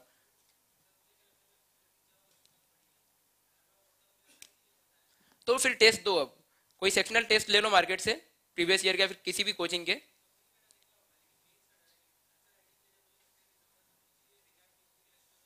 नहीं तो उसको करंट अफेयर्स से सप्लीमेंट करो और साथ में जो गवर्नेंस और सोशल जस्टिस का पोर्शन है गवर्नेंस और सोशल जस्टिस का पोर्शन ज़्यादा है मेंस में। पॉलिटी लक्ष्मीकांत से केवल नहीं कर सकते आप, जो मेंस का पोर्शन होता है। उसमें कई कई बार होता है कि एग्जीक्यूटिव जुडिशरी और लेजिस्लेचर का जो कॉन्फ्लिक्ट है, वो उसमें कवर्ड नहीं है लक्ष्मीकांत में। तो कॉन्फिडेंस नहीं आएगा आपको, अगर खाली लक्ष्मीकांत से आप सॉल्व करने जाओगे तो। जो टॉपिक्स है उस पर नोट्स बना लो एक बार बेसिक बेसिक तीन या चार पेजेस के, या फिर आपकी कोचिंग में मटेरियल होगा, उससे एक्सटेट करके नोट्स बना लो। नोट्स जब बना लोगे फ़ोटो मटेरियल आपके पास होगा, तब आप लिखने जाओ टेस्ट तो आपको बहुत कॉन्फिडेंस आएगा। थोड़ा बहुत है, लेकिन वो अकेले इनफ नहीं है। मतलब जैसे इस बार सीएजी पे क्वेश्चन था तो सीएजी वाला पोर्शन पूरा कवर था लक्ष्मीकांत में। लेकिन ज़रूरी नहीं है कि सब कुछ कवर हो। फाइनेंस कमीशन का जो था इस बार, वो कवर नहीं था लक्ष्मीकांत में। वो अगर खुद के नोट्स होते तो ही आंसर आप लिख सकते थे। तो जो करंट अफेयर्स में चीज़ें चल रही हैं, उसका जीएस टू में लिखते जाओ साथ साथ में। नोट्स बनाओ हर टॉपिक पे, और उसके बाद टेस्ट लिखने की कोशिश करो, तब कॉन्फिडेंस आएगा।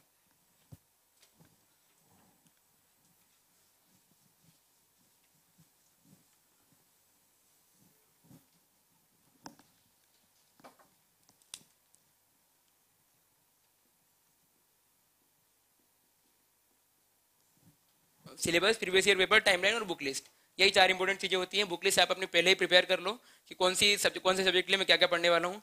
और एक बार जब बुक लिस्ट बना लो तो फिर मैंने जैसे बोला कि किसी और के बोलने का आप उसको चेंज मत करो। चाहे फैकल्टी ही कुछ क्यों ना बोले। आपको लगता है कि उससे कवर करने के बाद मेरे प्रीवियस ईयर पेपर्स में मैं अच्छा सॉल्व कर रहा हूँ तो उसी बुक लिस्ट को पूरे थ्रू आउट ईयर रखो आप और उसी को रेगुलरली फॉलो करो। अब मैं इस क्वेश्चन को सारे कवर करूँगा। साइंस एंड टेक के लिए बस current affairs is more than enough NCR पढ़ने का ज़्यादा मुझे लगता है कि कोई आउटपुट नहीं है, क्योंकि क्वेश्चन सारे करंट अफेयर से आते हैं। आपने देखा इस बार क्रिस्पर नाइन से जो क्वेश्चन आया, या फिर last year internet of things से जो क्वेश्चन था, ये सारे करंट अफेयर्स की टॉपिक है। और ये बेसिकली जो करंट अफेयर्स की मैगजीन्स होती है कोचिंग्स की, या फिर न्यूज़पेपर आप जब भी पढ़ रहे हो, जो भी नोट्स बना रहे हो द हिंदू का संडे का जो पेज होता है, इनसे सब ये कवर हो जाएगा। साइंस एंड के लिए उतना टेंशन लेने की ज़रूरत नहीं हाँ। तो बेसिकली मतलब बुक लिस्ट ही बताने का बोल रहे हो। मैं इसके बाद पूछ लेना, जब ये कवर हो जाए तो उसके बाद बुक लिस्ट पूछ सकते हो आप।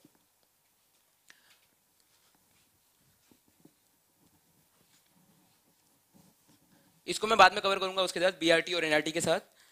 करंट अफेयर्स का मैं बता सकता हूँ.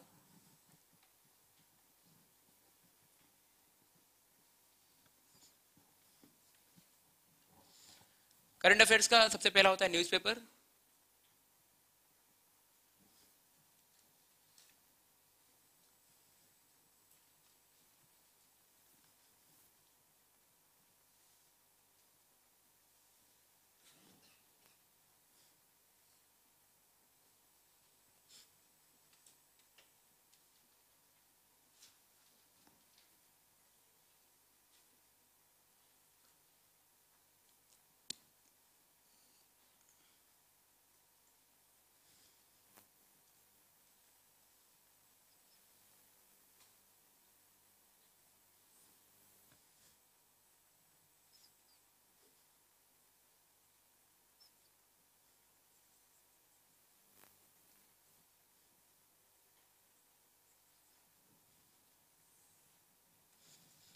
पहले आप न्यूज़पेपर पढ़ो न्यूज़पेपर द हिंदू और इंडियन एक्सप्रेस एनी मुझे लगता है कि मैंने द हिंदू पढ़ा था लेकिन मुझे लगता है इंडियन एक्सप्रेस ज़्यादा अच्छा है क्योंकि इंडियन एक्सप्रेस के आर्टिकल्स एडिटोरियल्स सारे काफ़ी अच्छे होते हैं एनालिटिकल होते हैं और मेंस के पॉइंट ऑफ़ व्यू से काफ़ी सारे पॉइंट्स वो कवर होते हैं उसमें।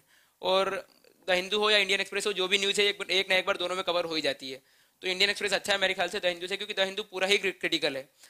बस क्रिटिकल पॉइंट ऑफ़ व्यू होना ज़रूरी नहीं है। हो सकता है आप थोड़ा अप्रिशिएट भी करने चाहिए होती है चीज़ों को। अगर गवर्नमेंट कोई अच्छा काम कर रही है तो उसको अप्रिशिएट भी करना होता है। यानी कि बस क्रिटिसाइज कर रहे हैं। कुछ चीज़ें गलत होती है, कुछ चीज़ें सही होती है। दोनों पॉइंट ऑफ़ व्यू देखना पड़ता है।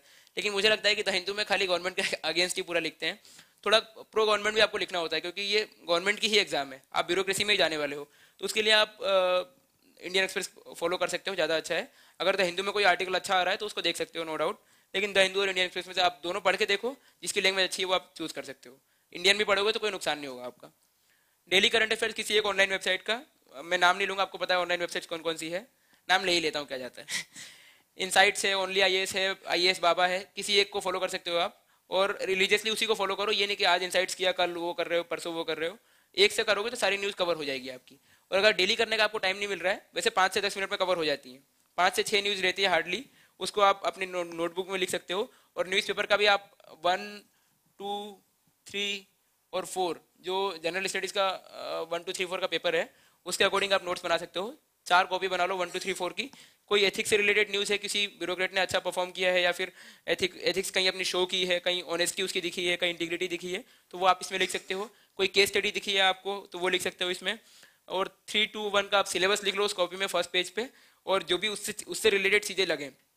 जैसे पॉलिटी में अगर कोई रिजर्वेशन वाला इशू है, आपको लग रहा है वो पेपर टू का पार्ट है तो पेपर टू में उससे रिलेटेड जो भी मेंस का अगर पॉइंट ऑफ़ व्यू से कोई आर्टिकल वगैरह है, कोई एनालिसिस है, वो उसमें लिख सकते हो आप। फैक्ट वाली चीज़ें भी लिख सकते हो और एनालिसिस वाली चीज़ें भी लिख सकते हो। करंट अफेयर्स भी आप इसी में लिख सकते हो, या तो ये कर सकते हो कि अगर डेली पढ़ने का टाइम नहीं मिल रहा है तो जो मंथली कंपाइलेशन आता है करंट अफेयर्स का, एक दिन लगेगा हार्डली मतलब थ्री टू फोर आवर्स उसमें आप डेली वाला एक किसी पेज में नोट डाउन करके रख लो। मतलब क्रिस्प बना के रख लो। जैसे मैंने ये किया था कि जिस भी मैं ऑनलाइन वेबसाइट को फॉलो करता था, उसका मंथली मेरे पास सारा तैयार था। सितंबर का मेरे पास पाँच या छः पेजेस में तैयार था। अक्टूबर का पाँच या छः पेजेस में तैयार था। ऐसे हर मंथ का मेरे पास तीन या चार या पाँच पेजेस में तैयार था। तो जब भी जैसे मैं अक्टूबर का, जैसे होता है ना सेक्शनल टेस्ट में सिलेबस दिया होता है कि इसमें पॉलिटी और हिस्ट्री आएगा और साथ में अक्टूबर या और नवंबर का करंट अफेयर्स भी पूछेंगे हम लोग।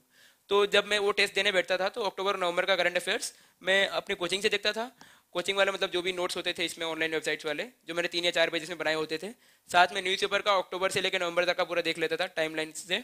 और साथ में ये जो मंथली करंट अफेयर्स आप किसी भी को, एक कोचिंग का फॉलो कर रहे हो तो उसके बाद मैं टेस्ट लिखता था। तो ऐसे आप मंथली बना सकते हो हर ऑनलाइन वेबसाइट की एक किसी की और या तो आप इसके साथ ही बना सकते हो न्यूज़पेपर वाली कॉपी में ही इसको नोट डाउन करते सकते हो। अब ये नहीं कि आपको दोबारा पढ़ना है तो पूरा मंथली आप डेढ़ सौ पेजेस का पूरा रिवाइज कर रहे हो उसमें बहुत ज़्यादा टाइम जाएगा। आप नोट्स बनाते जाओ अगर डेढ़ सौ न्यूज़ है तो पाँच या छः पेजेस में कवर हो जानी चाहिए। और उसका ये है कि अगर जैसे कि इतना बड़ा है तो उसको एक हेडिंग दो दो तीन बुलेट पॉइंट्स लिखो जो जो मेन फैक्चुअल चीज़ें हैं प्रीलिम्स के लिए और इतने में ही इतने बड़े न्यूज़ को कवर कर लो। तो छोटे छोटे करते जाओगे तो ऐसे एक, एक हेडिंग जैसे अगर कोई नई कमेटी बनी है उस कमेटी का नाम भर लो साथ में उसका पर्पज़ लिख दो जो दो तीन पर्टिकुलर्स हैं कि कितने मेंबर्स हैं क्या क्या एज वगैरह है और कितने टाइम के लिए अपॉइंट हुई है वो थोड़े बहुत पर्टिकुलर्स बुलेट पॉइंट्स में लिख लो वो न्यूज़ इतनी पूरी न्यूज़ इतने में कवर हो जाएगी। ये अगर नोट मेकिंग प्रैक्टिस करोगे तो ईजिली आप कवर कर लोगे। ऐसे ही करके पाँच छः बजे से आप बनाते जाओ। डेली करंट अफेयर सोते से पहले एक, एक देख सकते हो आप। पीआईबी को डेली फॉलो करो। पीआईबी में रोज कभी कभी ऐसा होता है कि five to six news are there और sometimes it happens that there are more than twenty और ट्वेंटी फाइव न्यूज़ क्योंकि जैसे बजट आता है तो बजट वाले दिन बहुत ज़्यादा न्यूज़ होती है। या फिर कभी मंडे होता है तो बहुत सारी जो मिनिस्ट्रीज होती है वो अपनी नई नई स्कीम्स लॉन्च करती हैं तो वो सारा पीआईबी में आपको मिल जाएगा। और जो डेली करंट अफेयर्स होता है, जो भी किसी ऑनलाइन वेबसाइट का, वो सब पीआईबी और इन्हीं गवर्नमेंट वाली सोर्सेज से ही वो लोग न्यूज़ लेते हैं। तो कई कई बार वो छोड़ देते हैं, जो इंपॉर्टेंट चीज़ें होती हैं, वो आपको पीआईबी से मिल जाएगी, जो वो लोग छोड़ देते हैं।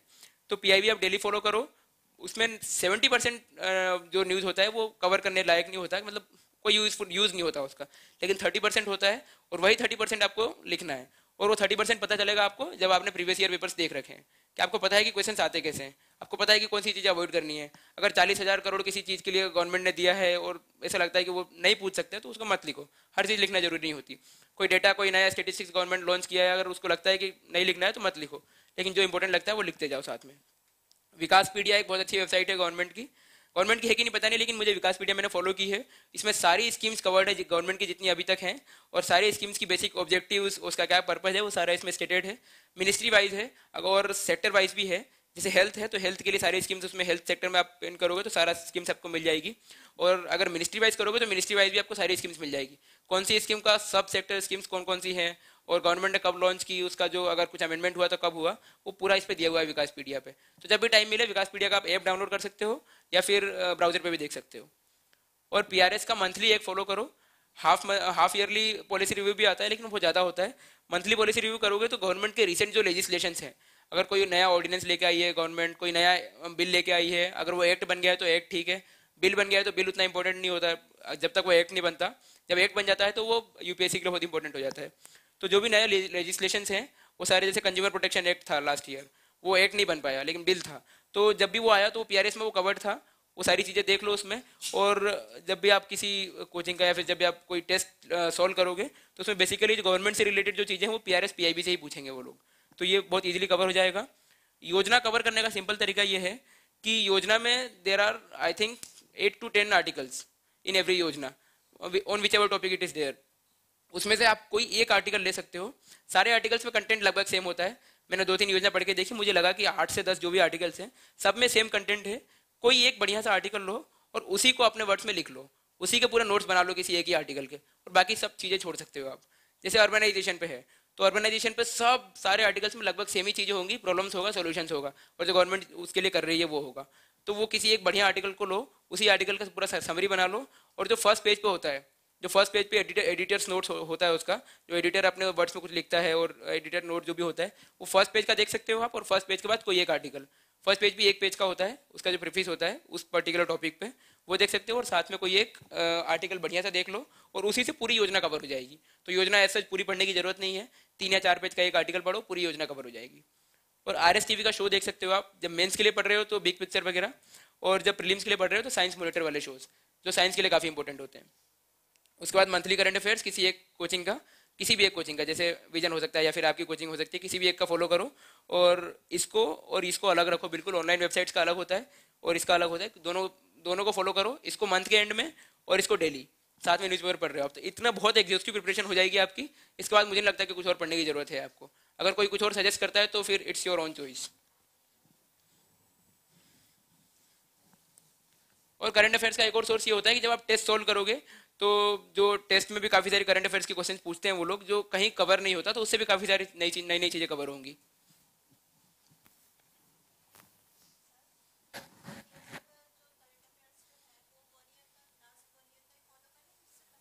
अगर आपने प्रिपरेशन इसी ईयर ईयर स्टार्ट की है तो पिछले साल का देखने का तो मतलब कोई मेरे ख्याल से अपने है नहीं, क्योंकि देख नहीं सकते आप मतलब फिर वही पूरे, पुराने साल का फॉलो करो सारे करंट अफेयर्स की मैगजीन्स वगैरह।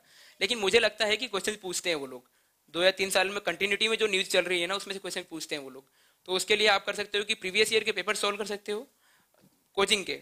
जैसे अगर किसी कोचिंग का फुल एंड टेस्ट है, किसी दो या तीन फुल एंड टेस्ट सॉल्व कर लो अलग अलग कोचिंग्स के तो उससे बेसिक जो मेन मेन न्यूज़ है ना, वो कवर हो जाएगी आपकी फुल एंड टेस्ट से।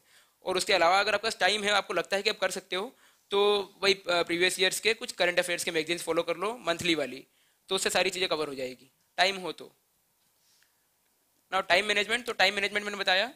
कि आपको पता होना चाहिए कि आज कौन सा सब्जेक्ट में पढ़ रहा हूँ, दो सब्जेक्ट आज कौन से पढ़ रहा हूँ, वो जब कंप्लीट हो जाएँगे तो अगले दो सब्जेक्ट्स कब कंप्लीट होंगे। मेंस के नोट्स मीन ही आपको प्रिपेयर करने हैं। ये नहीं कि प्रीलिम्स के बाद आप मेंस के नोट्स बनाओगे और फिर टेस्ट लिखने जाओगे। प्रीलिम्स की जब आप प्रिपरेशन कर रहे हो तो उसी टाइम पे मेंस के नोट्स बना लो। वो टाइम तब, जब आप थोड़ा स्पेयर टाइम है, जब कुछ मूड नहीं बन रहा है यार, कुछ पढ़ने वढ़ने का, तब आप मेंस के नोट्स बना सकते हो, क्योंकि मेंस का नोट्स मतलब बोरिंग टास्क है बहुत। लगता है कि यार, ठीक है, क्या लिखे जा रहे हैं, लिखे जा रहे हैं। तो जब आपको कभी भी खाली टाइम मिले तो मेंस के नोट्स बना लो। ऑप्शनल आपको कब प्रिपेयर करने मैंने बताया कि तीन टाइम होते हैं स्टार्ट करने के।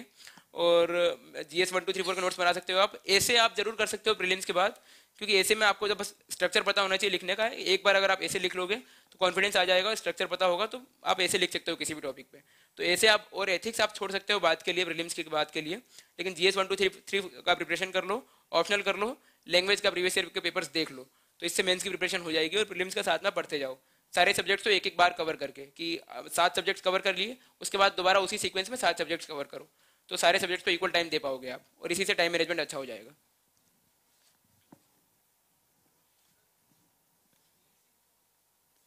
मैं बताऊँगा अभी मैं नोट मेकिंग का।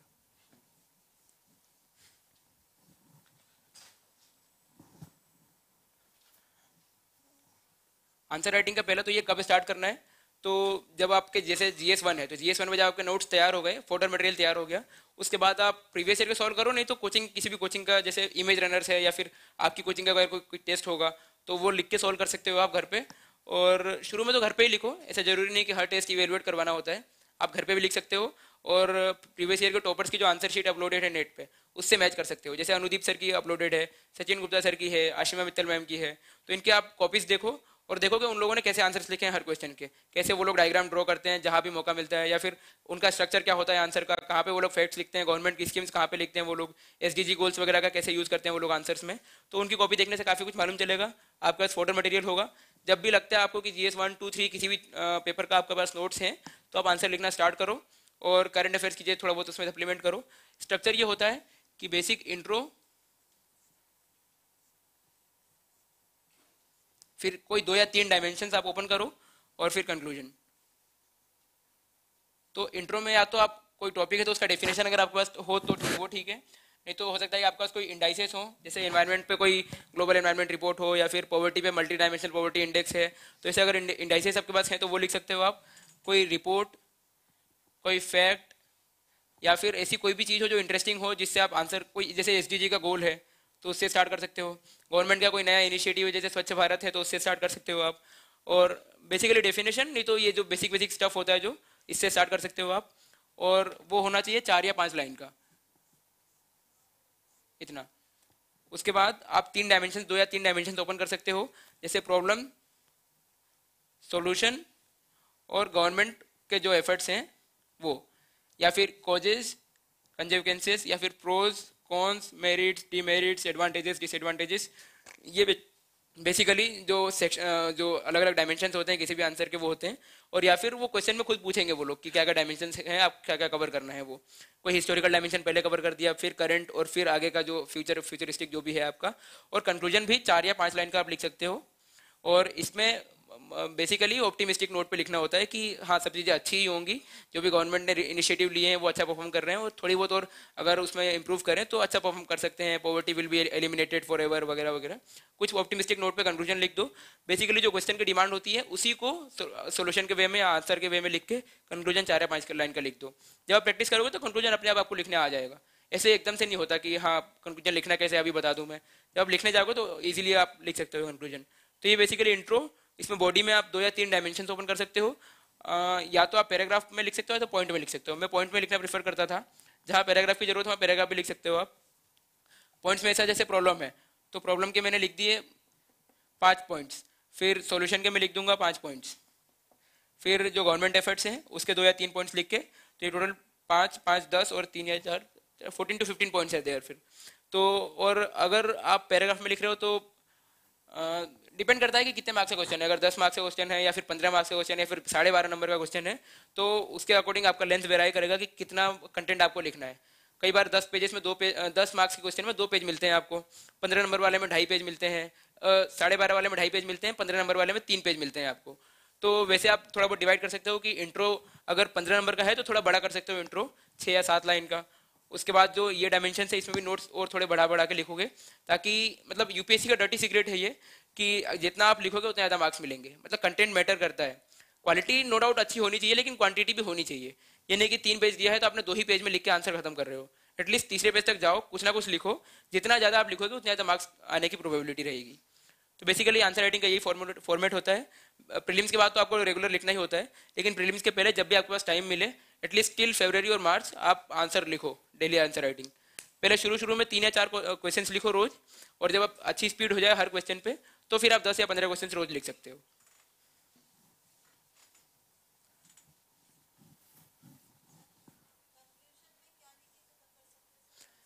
वो क्वेश्चन के डिमांड पे होता है। क्वेश्चन की डिमांड जो होगी उसी के अकॉर्डिंग जैसे अगर उन्होंने पूछा है कि पॉवर्टी अभी तक एलिमिनेट नहीं हुई, क्यों नहीं हुई गवर्नमेंट के कौन कौन से इनिशिएटिव्स थे और क्यों वो फेल कर गए?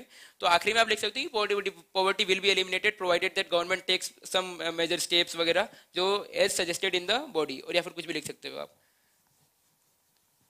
या फिर जो कोई ऑप्टिमिस्टिक आपके पास कोई चीज़ है कि जिसमें ये प्रिडिक्ट किया है किसी रिपोर्ट ने कि हाँ पॉवर्टी 2040 या 50 तक इंडिया में रिमूव हो जाएगी अबोलिश हो जाएगी, या फिर उसका रेट कम हो रहा है। आप ये बता सकते हो कि पहले 40 टू 50 परसेंट पॉवर्टी थी, अब 20 टू 22 परसेंट है। तो ये आप दिखा सकते हो उसमें कंक्लूजन में कि the recent report has set और has shown that poverty has been reduce from 40 percent to 22 percent and it will be done in the future as well ऐसा करके आप कुछ ना कुछ ऑप्टिमिस्टिक नोट पर कंक्लूजन लिख सकते हो।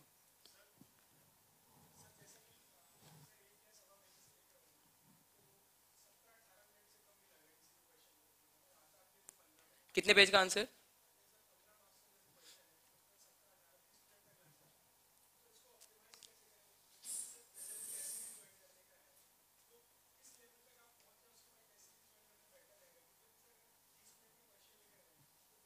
अभी आप रोज कितने टेस्ट लिखते हो?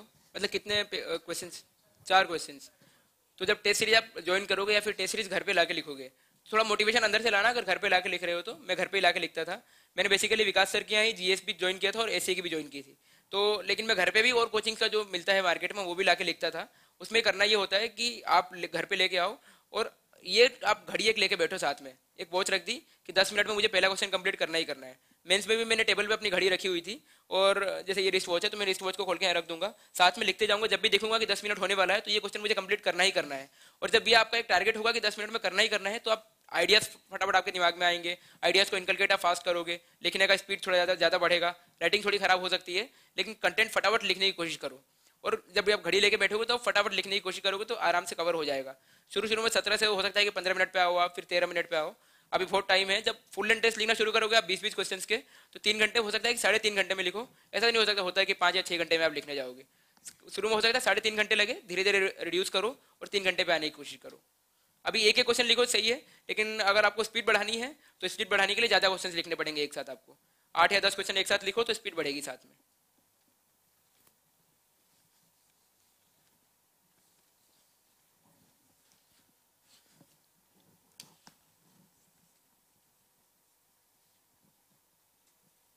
नोट्स मेकिंग का ये है कि जैसे मैंने बताया बीआरटी और एनआरटी दो अप्रोच होती है।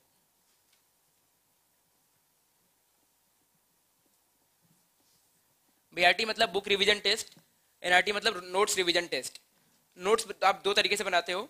एक तो किसी बुक से बनाते हो, कोई टेक्स्ट बुक पढ़ रहे हो, जैसे लक्ष्मीकांत पढ़ रहे हो तो लक्ष्मीकांत से बना लोगे। और दूसरा अदर सोर्सेज से। अदर सोर्सेज में हो सकता है कि आप कोई करंट अफेयर्स की मैगजीन से बना रहे हो या फिर मेंस के हर टॉपिक पर आप नोट्स बनाते हो तो बहुत सारे सोर्सेज होते हैं, उसको एक जगह एक्सट्रेक्ट करके आप लिखते हो। तो दो तरीके से बनाते हो बुक से और अदर सोर्सेज से। तो बुक से जब आप बनाओगे तो बीआरटी और जब अलग अलग दूसरे सोर्सेज से बनाओगे तो एन तो अगर आप अलग अलग सोर्सेज से बना रहे हो तो प्रीलिम्स के लिए तो ये है कि अगर जैसे एन है तो एन का एक चैप्टर होता है, आठ या दस पेज का मान लो ऑन एन एवरेज तो आठ या दस पेज को आप कोशिश करो कि दो पेज में कवर करो। पाँच पेज हो तो एक पेज में, दस पेज हो तो दो पेज में। मतलब ये अगर टारगेट होगा वन इज़ टू फाइव का तो नोट्स आप अच्छे बना सकते हो। आपका टारगेट होना चाहिए कि एक पेज में मैं कवर कर लूँ पाँच पेज की चीज़ें। तो जब आप ये टारगेट रखोगे तो इजीली आप वो सारी चीज़ें अवॉइड करोगे लिखना अपने नोट्स में, जो नहीं लिख सकते। कुछ चीज़ें अपने दिमाग के लिए छोड़ दो। हर चीज़ नोट्स में नहीं लिखना होता है। कुछ चीज़ें अगर हो सकता है आपको लगे कि हाँ यार, ये मेरे माइंड में रह सकती हैं, इसको हाँ लिखना ज़रूरी नहीं है, ये तो मुझे ऐसे ही याद है। तो वो नोट्स में मत लिखो। और जो जो चीज़ आपको लगता है कि बाद में नहीं मुझे याद आएगी या फिर बाद में बुक से मुझे पढ़ना नहीं है तो दोबारा बुक देखने की ज़रूरत ना पड़े तो उसको आप नोट्स में लिख सकते हो डेफिनेटली तो ऐसा पाँच पेज का, एक पेज में, दस पेज का, दो पेज में मैक्सिमम तीन पेजेस में आप कवर करने की कोशिश करो। तो अगर ये टारगेट आप बना लोगे तो इसीलिए आप टेक्स्ट बुक का कम से कम पेजेस में बेहतर से बेहतर नोट्स बना लोगे। नोट्स बनाने का एक हेडिंग डाल दो पर्टिकुलर दो, तीन बुलेट पॉइंट्स डाल दो। या फिर छोटे छोटे लिखने की कोशिश करो प्रीलिम्स के लिए बना रहे हो तो सेंटेंस मत लिखो छोटी छोटी चीज़ें लिख लो बस। जैसे कि ये नहीं लिखोगे कि आप this event happened in this year आप कल इवेंट का नाम लिखोगे, एक डैश करके ईयर का ईयर का जो भी है वो लिख दोगे तो सेंटेंस लिखने की ज़रूरत नहीं है। मेंस के लिए नोट्स बनाओगे तो सेंटेंस लिखो, लेकिन प्रीलिम्स के लिए सेंटेंस फॉर्मेट मत बनाओ। सिंपल सिंपल चीज़ें जो फैक्ट्स वगैरह हैं, उसको लिखते जाओ साथ साथ में। और बी मतलब जब भी आप बुक पढ़ लिया आपने एक, उसके नोट्स बना लिए, उसको फटाफट रिवाइज करो आर और फिर टेस्ट दो। तो फिर आपको मालूम चलेगा कि इधर बी और आर में क्या गलती हुई। या तो बुक पढ़ने में गलती हुई तो नहीं तो रिविजन करने में गलती हुई है। फिर इंप्रूव करो, फिर बुक पढ़ो, फिर रिविजन फिर टेस्ट फिर जो आपने नोट्स बनाया उसको रिवाइज करो, फिर टेस्ट तो ऐसे आप अगर ये सर्कल फॉलो करते जाओगे तो धीरे धीरे आपका ग्रेजुअली इंप्रूव होगा। और ऐसा तो नहीं होगा कि पिछली बार अगर पंद्रह क्वेश्चन सही गए तो इस बार चौदह ही जाएँगे। अगली बार सोलह ही जाएँगे, अगर आपने अच्छे से इंप्रूव किया है तो। फिर आपने नोट्स अगर मेंस का कोई टेस्ट लिख रहे हो आप तो नोट्स जो आपने बना लिए हैं। आज आपका अगर जी का टेस्ट है तो नोट्स पूरे रिवाइज करो और वो नोट्स रिवाइज करके टेस्ट लिखने जाओ। तो फिर टेस्ट लिखो, फिर हो सकता है कि उसमें आपको टू टू फिफ्टी में से हो सकता है सौ मार्क्स मिले। तो आप अपने जो भी एग्जामिनर है इवेल्युएटर है, उससे पूछो कि मैंने आंसर के स्ट्रक्चर में गलती की है, या फिर मेरा कंटेंट बेकार है, या फिर मैं कम लिख रहा हूँ। जहाँ भी गलती हो, उसको दोबारा नोट्स रिवाइज करो, फिर टेस्ट लिखने जाओ, फिर इंप्रूव करो। तो ऐसे धीरे धीरे ये एनआरटी और बीआरटी से आपका काफ़ी कुछ इंप्रूव हो जाएगा। ये बेसिकली उसके लिए होता है प्रिलिम्स के लिए, और ये मेन्स के लिए होता है। तो ये मेरा ऐसा कोई तब अप्रोच नहीं था, लेकिन यही मैंने फॉलो किया तो इसको बी आर टी एन के फॉर्म में लिख रहा हूँ मैं।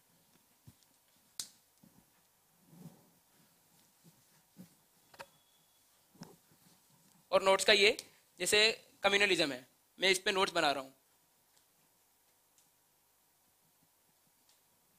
तो मैं पहले एक बेसिक सी बढ़िया सी डेफिनेशन लिखूँगा, जिससे अगर कम्युनलिज्म कभी भी मेंस के पेपर में कहीं क्वेश्चन आएगा कम्युनलिज्म से रिलेटेड कुछ भी याद नहीं आए तो मैं कम से कम डेफिनेशन लिख के अपना आंसर इंट्रोड्यूस कर सकता हूँ। तो वो एक बढ़िया इंप्रेशन क्रिएट करेगा एग्जामिनर के ऊपर कि हाँ इसको कम्युनलिज्म का बेसिक आइडिया है कि कम्युनलिज्म होता क्या है। अगर मैं अभी आपको बोलूँ तो आप डिफाइन अच्छे से नहीं कर पाओगे इसमें सारी चीज़ें कवर हो। तो कोई एक स्टैंडर्ड डेफिनेशन उस टॉपिक से रिलेटेड ऐसा ही मेन्स के सारे टॉपिक्स पे यही रूल अप्लाई होगा। हो सकता है किसी चीज़ की डेफिनेशन ना हो तो उससे रिलेटेड कोई बढ़िया सा फैक्ट या डेटा आंसर इंट्रोड्यूस करने के लिए।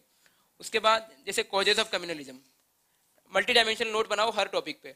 ऐसे करोगे तो दो दो पेज में हर टॉपिक पे नोट्स बनते जाएँगे। उसको अपने फ़ाइल में रखते जाओ जीएस वन की फ़ाइल अलग जीएस टू की फ़ाइल अलग, और सारे फ़ाइल में हर टॉपिक पे नोट्स होने चाहिए आपके पास एक एक दो दो पेज के। वही फ़ोटो मटेरियल होता है, वही देख के आपको टेस्ट लिखना होता है। कॉजेस हो गए, फिर कंजेक्वेंसेस की, उसका कंजेक्वेंसेस क्या क्या होते हैं सोसाइटी में। फिर इसका थोड़ा बहुत हिस्टोरिकल बैकग्राउंड भी लिख लो कि ज़रूरी है कम्युनलिज्म का, कि इंडिया में कब से इसने ज़्यादा मतलब कम्युनलिज्म कब ज़्यादा वो हुआ स्प्रेड हुआ इंडियन सोसाइटी में। जैसे ब्रिटिशर्स आए तो उन लोगों ने डिवाइड एंड रूल की पॉलिसी लेके आए वो लोग, हिंदू और मुस्लिमों को और या फिर क्रिश्चियंस और जूस को सबको आपस में लड़ाया, उनके अपने म्यूचुअल बेनिफिट के लिए। तो हिस्टोरिकल बैकग्राउंड ज़रूरी है ऐसे ऐसे टॉपिक्स का। और फिर गवर्नमेंट के एफर्ट्स और फिर आखिर में कंक्लूजन तो नहीं लिखना होता है, कोई फैक्ट वगैरह डेटा हर टॉपिक पे। जैसे इस पर कोई फैक्ट वगैरह या फिर कोई रिपोर्ट अगर अभी हुई है तो वो कर सकते हो। और नोट्स बनाने के लिए, जैसे कम्युनलिज्म है तो कम्युनलिज्म यूपीएससी या फिर कम्युनलिज्म यूपीएससी नोट्स करके आप अगर गूगल पर सर्च करोगे तो काफ़ी सारे सोर्सेज मिल जाएँगे आपको। फिर उसी में से आप एक्सट्रैक्ट कर सकते हो। आपकी कोचिंग का मटेरियल हो तो उसमें से भी देख सकते हो अच्छी अच्छी चीज़ें लेने का। अगर क्लास में टॉपिक कवर हुआ है तो उसमें से भी कर सकते हो। अगर आपकी कोचिंग का मटेरियल है उससे भी कर सकते हो। या फिर हो सकता है प्रीवियस ईयर के टॉपर्स ने कॉपीज बना रखी हो। जैसे अनुदीप सर का सोसाइटी पे काफ़ी अच्छे नोट्स उन्होंने अपलोड किए हुए हैं। तो उसको भी एक बार देख सकते हो। उसमें से जो अच्छी चीज़ मिले कम्युनिज्म से रिलेटेड उसको अपने नोट्स में लिख सकते हो। और हर टॉपिक पे नोट्स बनाने के बाद हाफ़ या एक पेज का मार्जिन छोड़ देना, इसमें आप करंट अफेयर्स की चीज़ें अपडेट करोगे। जब भी आपको मालूम चला कि करंट अफेयर्स में कम्युनलिज्म से रिलेटेड कोई चीज़ है, जैसे मुजफ्फरनगर राइट्स है तो मुजफ्फरनगर राइट्स आप फटाफट जाके अपने उसमें एक जगह मेंशन कर दोगे करंट अफेयर्स की चीज़ में। तो आपके पास करंट अफेयर्स से भी अपडेट हो जाएगा उसके साथ ही।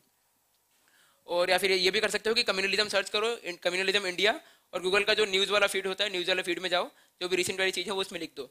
फैक्ट मतलब कि कम्युनलिज्म कितने कम्युनल इंसिडेंट्स हुए अभी इंडिया में in the recent years For example, in the last 10 years, how many riots have taken place in different corners of, the, of, of our country? कि अगर नॉर्थ में north में ज़्यादा हो रहा है कि साउथ में ज़्यादा हो रहा है ईस्ट ईस्टर्न पार्ट में हो रहा है कि वेस्टर्न पार्ट में हो रहा है और उसके कॉजेस वगैरह क्या है? थोड़ा बहुत फैक्ट्स हो जाएँगे आपके पास? तो फैक्ट्स अगर आप लिखोगे आंसर में तो उसको लगेगा कि हाँ ये सब्सटेंशिएट कर रहा है अपनी जो भी बोल रहा है उसको उसको किसी न किसी फैक्चुअल चीज़ से सब्सटेंशिएट कर रहा है। तो ये बेसिकली नोट मेकिंग का पार्ट है। मतलब मल्टी डायमेंशन नोट्स बनाओ तीन या चार डायमेंशन पे एक डेफिनेशन होनी चाहिए और फैक्ट्स वगैरह रिपोर्ट्स वगैरह होनी चाहिए आपके पास।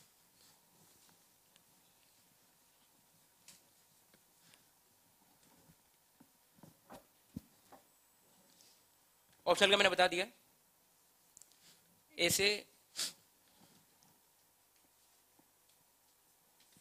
ऐसे में you just need to get confidence कि हाँ मैं ऐसे लिख सकता हूँ।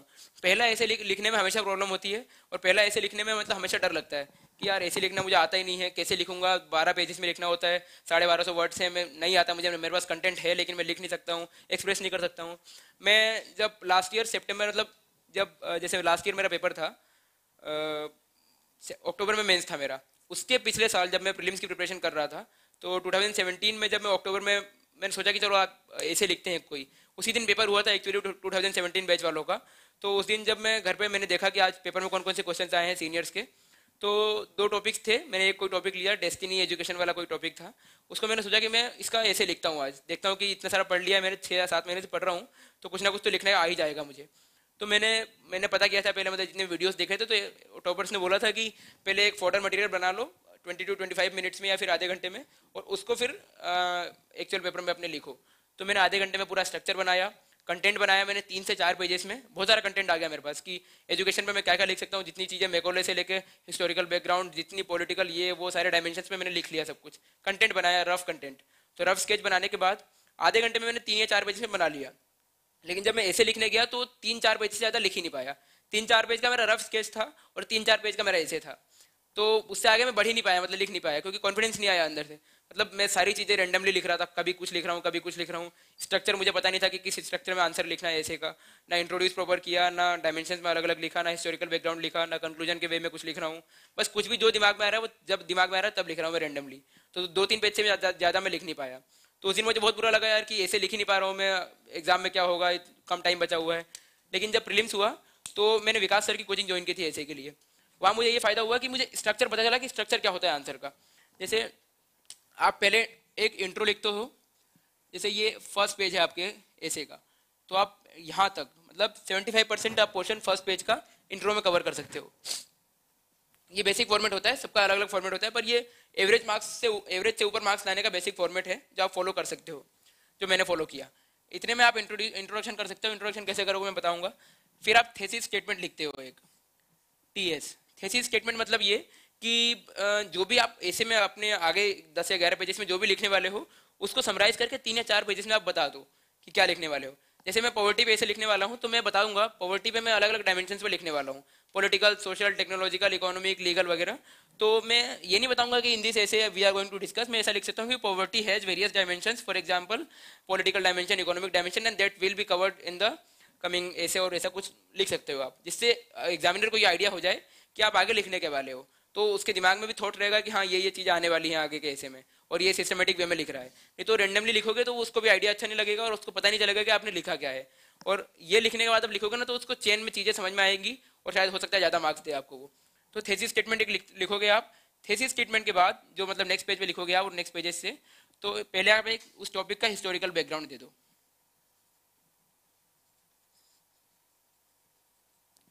जैसे एग्रीकल्चर वगैरह से फार्मर्स का इशू है कोई, उस पर अगर कोई ऐसे लिखना है आपको, या फिर एजुकेशन है तो उसका हिस्टोरिकल बैकग्राउंड दे दोगे आप, जैसे एजुकेशन है। तो जो पहले गुरुकुल वगैरह होते थे हमारे एंशियंट टाइम पे, उसका आप एग्ज़ाम्पल देख सकते हो कि इंडिया में हिस्टोरिकल इसका कंटेक्स ये है एजुकेशन का, और उसके बाद मॉडर्न वाले में कुछ दे सकते हो कि मेकोले की कमेटी वगैरह थी।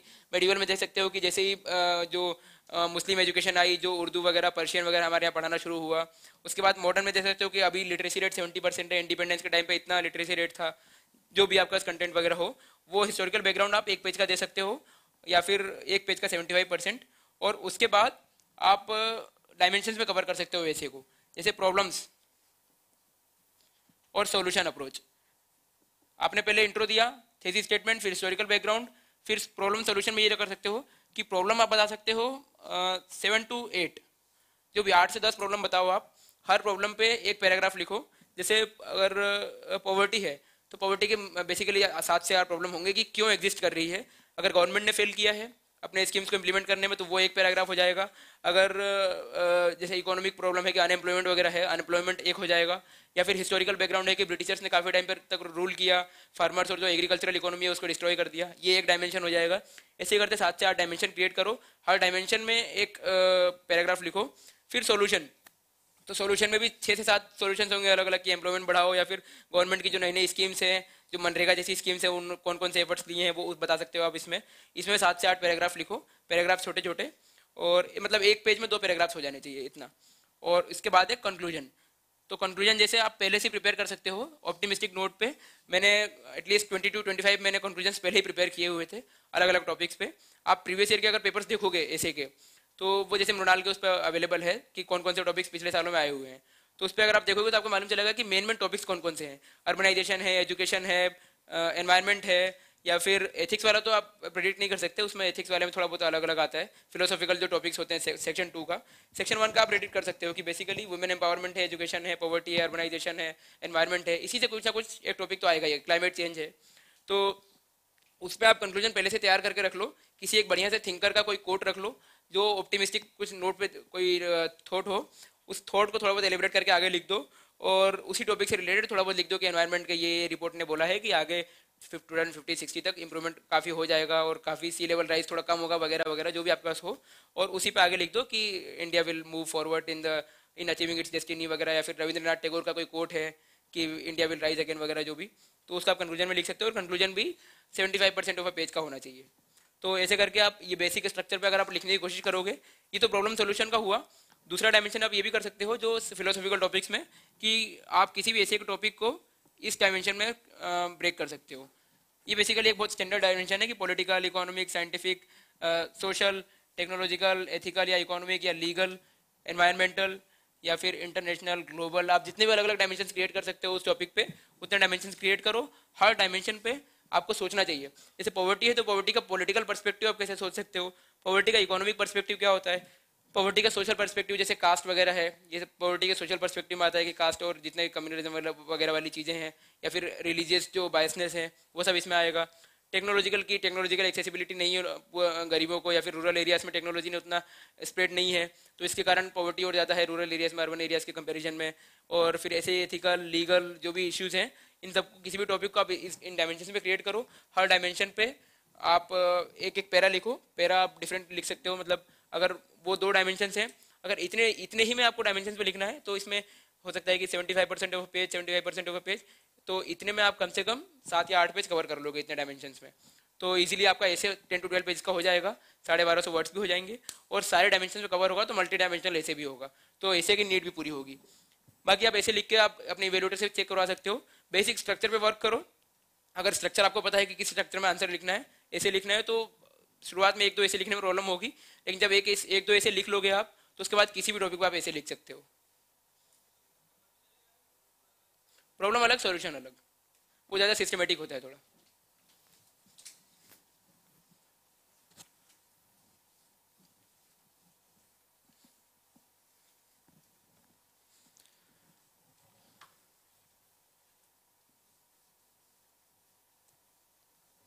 एनसीईआरटी e पढ़ने का तरीका ये होता है कि सबसे पहले पता करो कि कौन सी एनसीईआरटी e पढ़नी है, कौन सी नहीं पढ़नी है।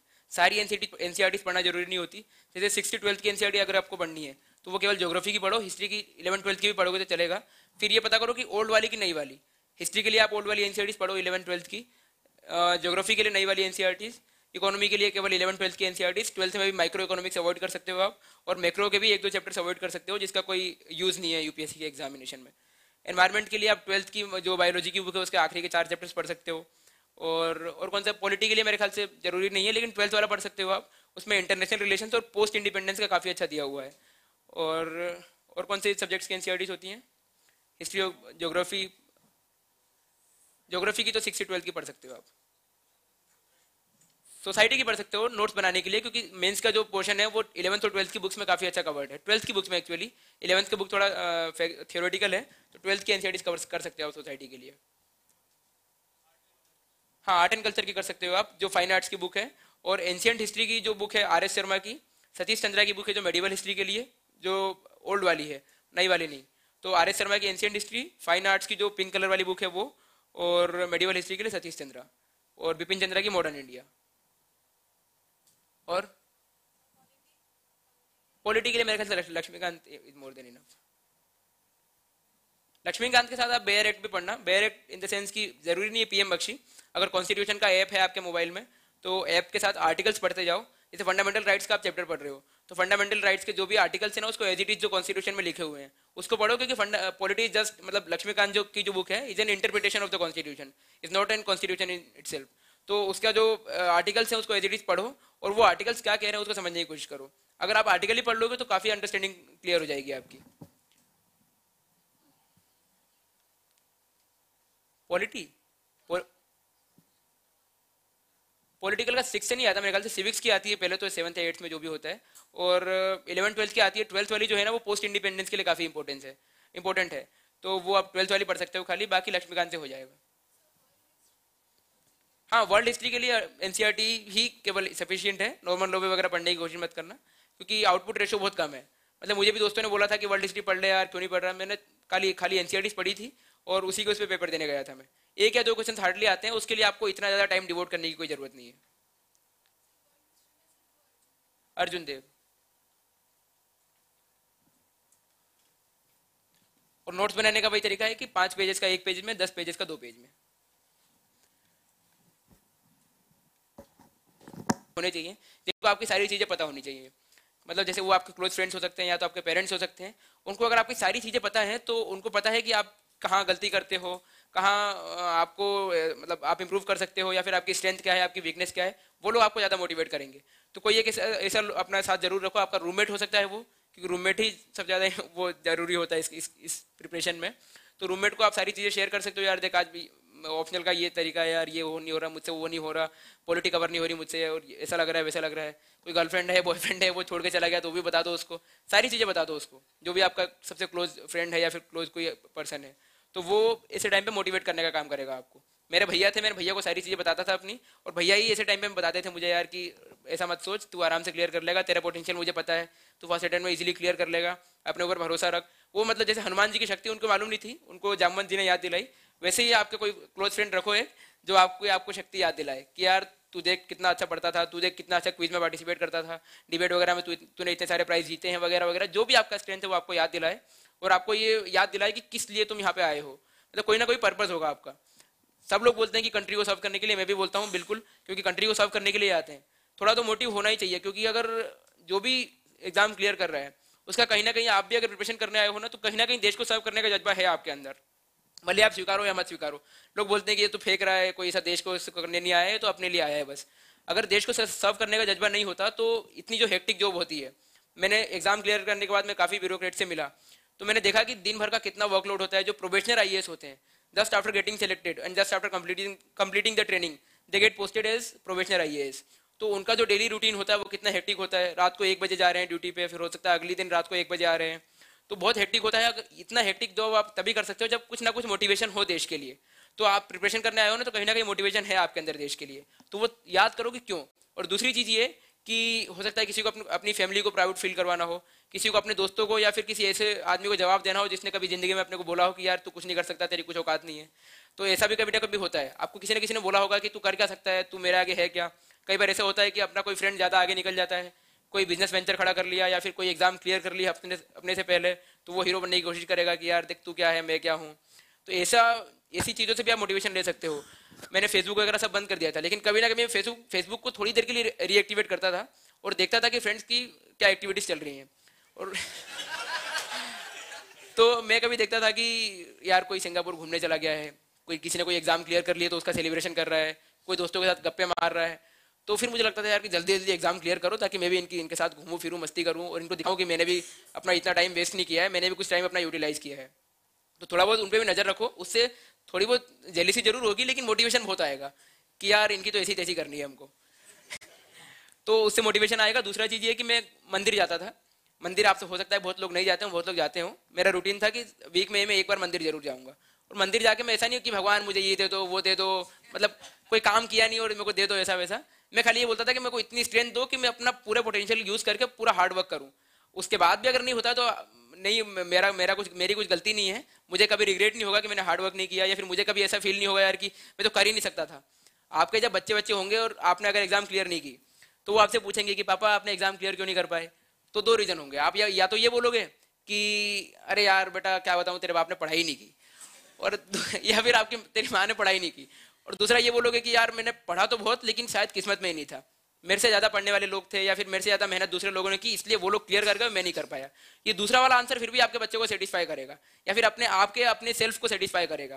पहला वाला आंसर जो है वो बहुत मतलब ऐसा है कि आपने कुछ समझा ही नहीं कि आपकी लाइफ का क्या मोटिव है, आपकी लाइफ का यूज़ कैसे करना है। पहला वाला आंसर तो मतलब ये कि यार मैंने पढ़ा ही नहीं। इसका क्या मतलब होता है? ट्वेंटी टू थर्टी ईयर्स का जो आपका, जो एज का वो होता है रेंज होता है, ये सबसे ज़्यादा फ्रूटफुल होता है यूथफुल होता है। और इसमें आप जो चाहो वो कर सकते हो। मतलब किसी भी आप तीस या पैंतीस साल के किसी आदमी से मिलना तो आपको लगेगा कि यार उसके अंदर ज़्यादा एनर्जी नहीं है ज़्यादा वो मोटिवेटेड नहीं है लेकिन अगर आप 20 से 25 साल के किसी इंसान से मिलोगे तो आपको मालूम चलेगा कितनी एनर्जी है कुछ भी अगर बोले कहो उनको करने को कि यार ये करना है तो बहुत फ्लेक्सिबल होता है बहुत कुछ करने की हिम्मत होती है। एक ही टाइम पे बहुत सारी चीज़ें कर सकते हैं। क्योंकि मतलब ये इस, इसी टर्म को युवा बोलते हैं। और युवा को अगर मतलब अगर रिवर्ट करें तो उसका मतलब होता है वायु। वायु मतलब हवा। हवा जितना आवेग होता है हमारे अंदर, जो चाहे वो कर सकते हैं। दशरथ माजी को आपने देखा होगा, उसने मतलब पर्वत को तोड़ के उसमें से रास्ता बना के और लोगों को उसमें से पार करवाया। लेकिन यहाँ ये भी नहीं करना है कि आपको कोई हथौड़ी और वो लेकर पहाड़ तोड़ना है, उसमें से रास्ता निकालना है। ये सिलेबस है, प्रीवियस ईयर पेपर्स हैं, बुक लिस्ट है, इसको फॉलो करना है, रिलीजियसली फॉलो करना है। एक साल अच्छे से पढ़ाई करना है। पढ़ाई में इंटरेस्ट हो तो और मज़ा आता है पढ़ने में। टेस्ट वगैरह देने हैं, थोड़ा बहुत आंसर राइटिंग प्रैक्टिस करनी है और एग्ज़ाम क्लियर करना है।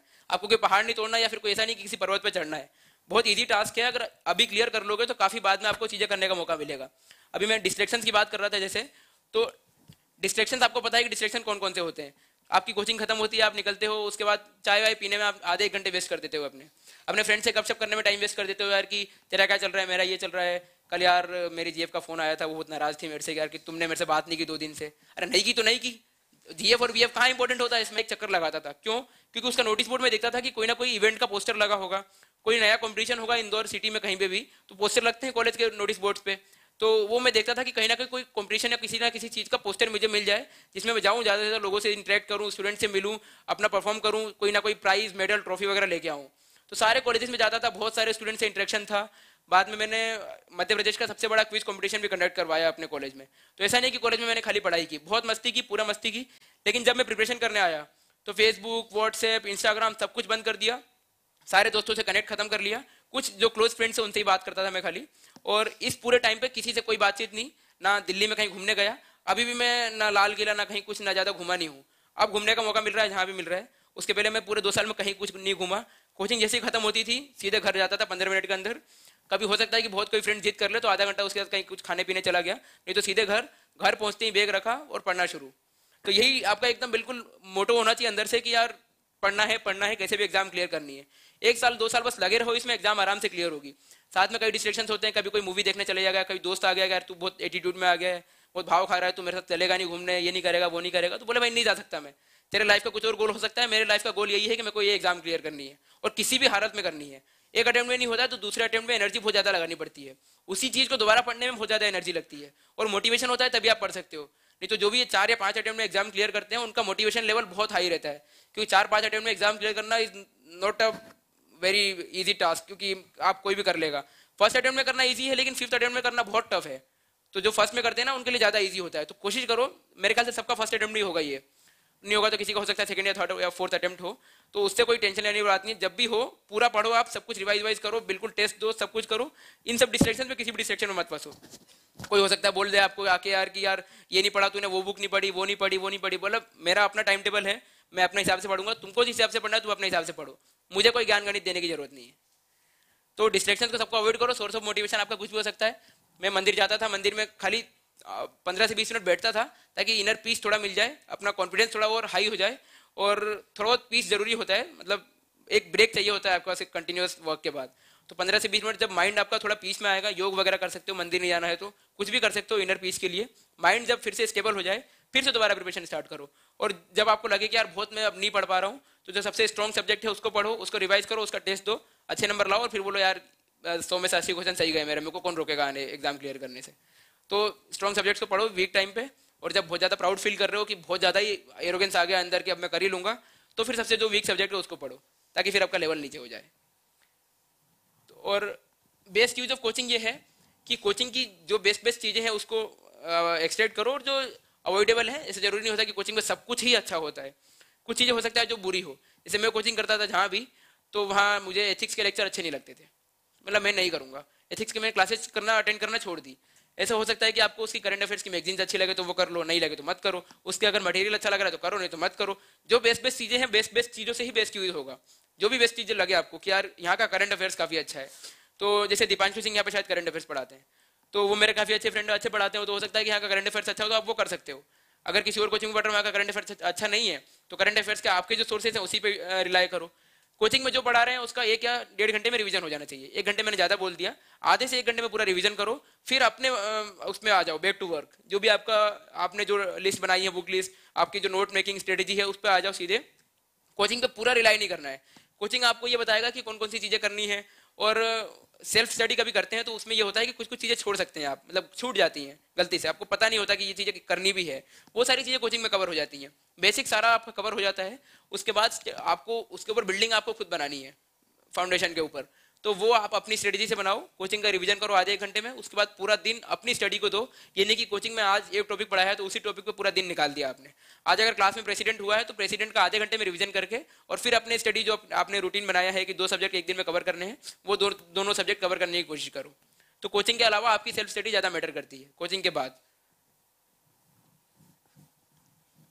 और कोचिंग का एक फ़ायदा ये भी होता है कि आपको मालूम चलता है कि कंपटीशन क्या है। अगर कोचिंग में टेस्ट सीरीज़ हो रही है तो आपकी रैंक रैंकिंग रैंकिंग वगैरह होगी, या फिर इतना, इतने सारे बच्चे बैठे होंगे तो आपको लगेगा यार कि ये सब पढ़ रहे हैं, मैं नहीं पढ़ रहा हूँ तो मेरा नुकसान हो रहा है, ये सब मेरे से आगे निकल रहे हैं। तो इससे थोड़ा बहुत मोटिवेशन आता है अंदर से।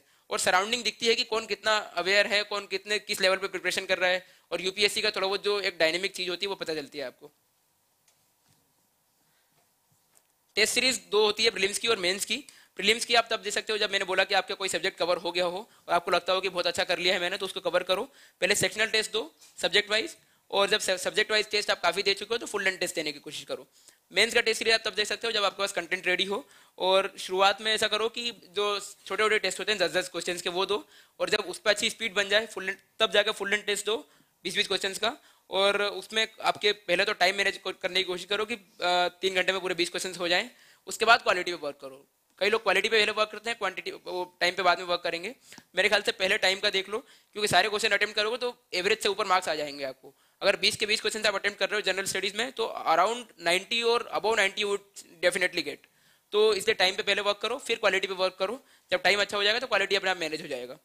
उसके बाद mistakes to be avoided mistakes ये कि प्रीलिम्स और मेंस को कई लोग मानते हैं कि एक ही साथ हम पढ़ सकते हैं। मतलब अलग अलग पढ़ना है कि पहले प्रीलिम्स का पढ़ लेते हैं, प्रीलिम्स के बाद मेंस का पढ़ेंगे। ये एक इंटीग्रेटेड प्रिपरेशन होती है। इंटीग्रेटेड मतलब ये कि प्रीलिम्स का भी पढ़ना है, मेंस का भी पढ़ना है और पर्सनालिटी टेस्ट पे भी वर्क करना है कि पर्सनालिटी टेस्ट में हो सकता है कि आपकी पर्सनालिटी के कौन कौन से वीक सेक्शन वीकर सेक्शन है, उस पर वर्क करो। हो सकता है आप एक्सप्रेस नहीं कर पाते उन चीज़ों को। You know the things but you know do not know that how to express the things in the front of five to six person who are sitting in the front of you तो आप ये पहले पता करो, अगर जैसे हो सकता है कि आपकी कोई हॉबी ना हो। और हॉबी और इंटरेस्ट वगैरह, वो सब वहाँ मेंशन करना होता है डिटेल्ड एप्लीकेशन फॉर्म में। तो कोई एक हॉबी जैसे कोई रीडिंग बुक्स रीडिंग नॉवेल्स या फिर रिसाइटिंग द पोएम्स और whatever according to your interest कोई एक कोई एक हॉबी डेवलप करो। रीडिंग न्यूज़पेपर्स अगर डेली अच्छे से पढ़ रहे हैं तो वो बता सकते हो। या फिर किसी स्पोर्ट्स का बता सकते हो आप। इंटरेस्ट वगैरह पता करो कि किस चीज़ में इंटरेस्ट है। थोड़ा बहुत उस टाइम को भी, उस चीज़ को भी टाइम दो। जैसे मैं, मुझे पोइट्री का इंटरेस्ट है। तो कभी कभी जब लगता था कि यार बहुत हो गया पढ़ाई वढ़ाई से मन उब गया है तो थोड़ा बहुत पंद्रह बीस मिनट कुछ पोएम वोएम रिसाइड कर दिए अपने दोस्तों को बिठा के। महफिल जमा दी बोले, चलो बैठो, सुनो मेरे को। अच्छा सुनना पड़ेगा उनको। तो ऐसे आप भी कर सकते हो, जब भी लगे कि ऐसा कुछ, अगर जैसे किसी को स्नूकर खेलने का शौक है, बहुत अगर बहुत टाइम हो गया खेले हुए तो बहुत टाइम से पढ़ रहे हैं तो चलो जाओ स्नूकर को खेल खेल के आ जाओ जहाँ भी जाना है आपको। और मिस्टेक्स ये है कि मतलब वही कि स्टूडेंट्स के उसमें फंसना नहीं है आपको। कि ये कर लो, वो कर लो, सब कर लो। सिस्टमेटिक होना चाहिए लिमिट अपने सोर्सेज को कम से कम पढ़ो। एक सब्जेक्ट के लिए ये नहीं है कि दो से तीन स्टैंडर्ड बुक पढ़ रहे हो आप। आपने स्पेक्ट्रम भी पढ़ ली बिपिन चंद्रा की इंडिया स्ट्रगल फॉर इंडिपेंडेंस भी पढ़ ली एनसीआरटी भी पढ़ ली, उसके बाद भी आपका कुछ हो नहीं रहा है। कम से कम चीज़ें पढ़ो, लेकिन बार बार पढ़ो उसको। और मेरे ख्याल से बेसिक सारे क्वेश्चन कवर हो गए। अब आप अपने डाउट्स बता सकते हैं।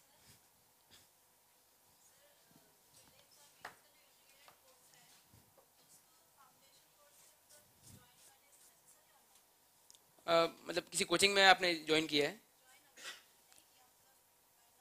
मेरे ख्याल से ये जो फाउंडेशन कोर्स होता है, इसमें सब कुछ कवर होता है। मेंस के भी नोट्स बनाएँगे बनवाएँगे वो लोग अगर कोचिंग आप कर रहे हो तो। मैंने यहाँ नहीं किया था तो इसलिए मुझे पता नहीं है। मैंने जिस भी कोचिंग में किया था तो उसका मुझे पता है। हाँ आपको सबको पता ही होगा। तो मैंने जहाँ किया तो वहाँ पता है कि फाउंडेशन कोर्स में होता है। और आमतौर पर सारे कोचिंग्स में फाउंडेशन कोर्स जो होता है, उसमें सब कुछ कवर होता है। प्रीलिम्स के पॉइंट्स ऑफ़ व्यू से पढ़ाएँगे, और जैसे जोग्राफी पढ़ा रहे हैं तो जोग्राफी में वो सारी चीज़ें भी कवर करेंगे।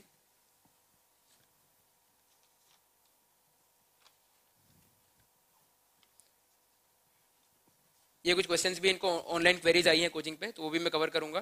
जैसे पहला ये है कि how to prepare by doing self study और विदाउट कोचिंग तो विदाउट कोचिंग का ये है कि आ, मैंने बताया कि कोचिंग का फ़ायदा क्या होता है। कोचिंग का फ़ायदा ये होता है कि एक आ, शायद मैंने नहीं बताया मतलब ये होता है कि जैसे आपको अगर टाइमिंग है कि आठ से साढ़े दस बजे आपको पढ़ना है सुबह आठ से साढ़े दस आपको आना ही आना है कोचिंग एनी हाउ तो आपको अंदर से एक मोटिवेशन होगा कि यार आज तो पढ़ना ही पढ़ना है। सेल्फ स्टडी में ये होगा कि यार कोचिंग जाने का कोई कंपल्सन है नहीं ऐसा है नहीं कि आज पढ़ना ही पढ़ना है हमको ऐसा कोई बाउंडेशन है नहीं तो उसके लिए कभी कभी होता है फ्लेक्सिबिलिटी होती है, चलो यार, छोड़ो, आठ बजे कौन उठ रहा है? नौ बजे सो के उठेंगे, या फिर दस बजे उठेंगे, आज थोड़ा कम पढ़ते हैं।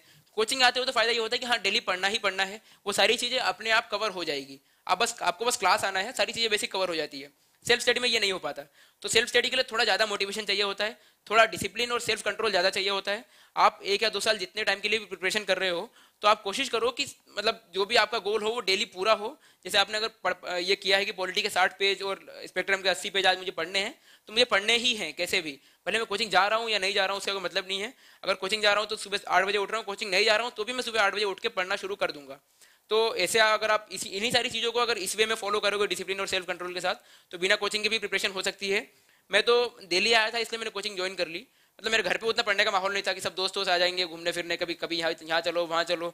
कोई रिश्तेदारों के फैमिली फ़ंक्शन है वगैरह, उसमें भी जाना पड़ता है। तो इसलिए मैं घर से बाहर निकला कि अगर प्रिपरेशन करनी है तो घर से बाहर चल के प्रिपरेशन करते हैं। उसके लिए मैं दिल्ली आया और दिल्ली आया इसलिए मैंने सोचा कि चलो कोचिंग भी ज्वाइन कर लेते हैं। तो वो एक कंसिक्वेंशियल डिसीज़न था। मतलब ये ज़रूरी नहीं है कि कोचिंग से ही प्रिपरेशन होती है। बिना कोचिंग के भी आप बिल्कुल कर सकते हो। थोड़ा डिसिप्लिन और हार्डवर्क ज़्यादा चाहिए होता है उसमें। और किसी ऑनलाइन वीडियोस वगैरह देखते रहो टॉपर्स के टॉक वगैरह या फिर जो भी उन्होंने स्ट्रेटजी बताई है, उसको फॉलो करते रहो। कोचिंग में क्योंकि फैकल्टीज वगैरह जब थोड़ा बताते हैं आपको कि यूपीएससी का क्या क्या डिमांड है वगैरह, वो जानना हो तो यूट्यूब पर थोड़ा वीडियोस वगैरह अच्छे सर्व करो। और यूट्यूब खोलो तो खाली वही देखो जो काम की चीज़ है। मैं भी मैं भी मतलब उस उस चीज़ों को काफ़ी कर कर चुका हूँ कि यूट्यूब खोला मैंने यूट्यूब इसलिए खोला कि चलो यार आज कोई किसी उनका स्ट्रेटजी वगैरह देख लेंगे सोशोलॉजी का कोई लेक्चर देख लेंगे। लेकिन उसके पहले ही फ़ीड में कुछ और दिख गया मुझे। कुछ भी मतलब जो भी आपको अच्छा लगता हो। तो वो दिख गया मतलब चलो यार पाँच मिनट का तो है देख लेते हैं। पाँच मिनट के बाद कुछ और स्क्रॉल किया कुछ और दिख गया। ऐसे करते करते थोड़ी देर बाद देखा तो डेढ़ या दो घंटे बीत चुके हैं। तो चलो यार छोड़ो अब वो नहीं देखेंगे बाद में देखता हूँ कभी यूट्यूब खोलता हूँ तो, तो जो जिस चीज़ के लिए मैंने यूट्यूब ओपन किया था वो नहीं देखा। बाकी सारी चीज़ें देख ली मैंने जो बिना काम की है तो जब भी ओपन करो तो ये रखो थोड़ा अंदर कंट्रोल कोचिंग कर रहे हो या नहीं कर रहे हो मैटर नहीं करता। थोड़ा कंट्रोल रखो कि किस चीज़ के लिए आप कौन सी चीज़ यूज़ कर रहे हो यूट्यूब हो या फिर कोई भी ब्राउज़र हो, कुछ भी हो, जो भी आप करते हो, और सारी चीज़ें लिमिट में करो।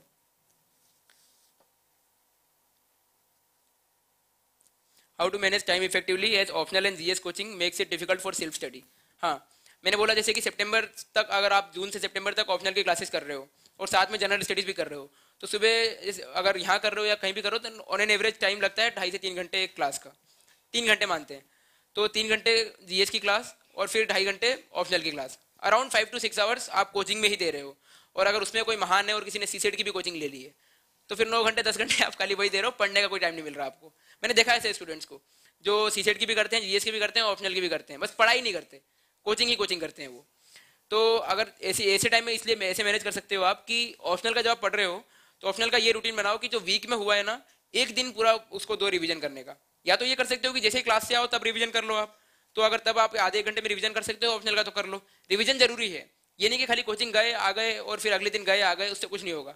या तो आते से ही रिवीजन कर लो आधे एक घंटे में, या तो वीक में एक दिन निकाल के पूरा ऑप्शनल का रिवीजन कर लो, जितना भी अभी तक हुआ है।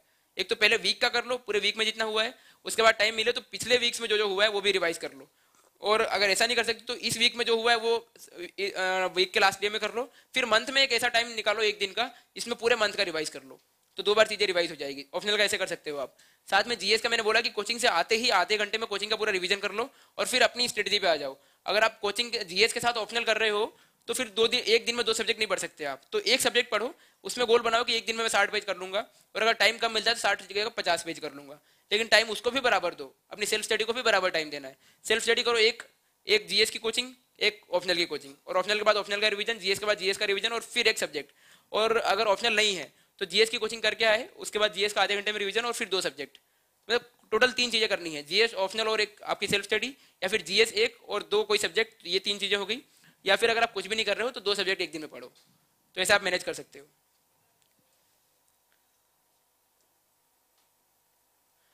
Sir is it better to approach to prepare for both UPSC and state civil services I think yes क्योंकि you need to have an alternative क्योंकि ये होता है कि कई बार ये होता है कि मतलब कई लोग सिर्फ़ यूपीएससी के लिए आते हैं, जो वेल ऑफ़ फैमिली से होते हैं, काफ़ी अच्छा बैकग्राउंड होता है तो उनको कोई किसी चीज़ की टेंशन नहीं होती।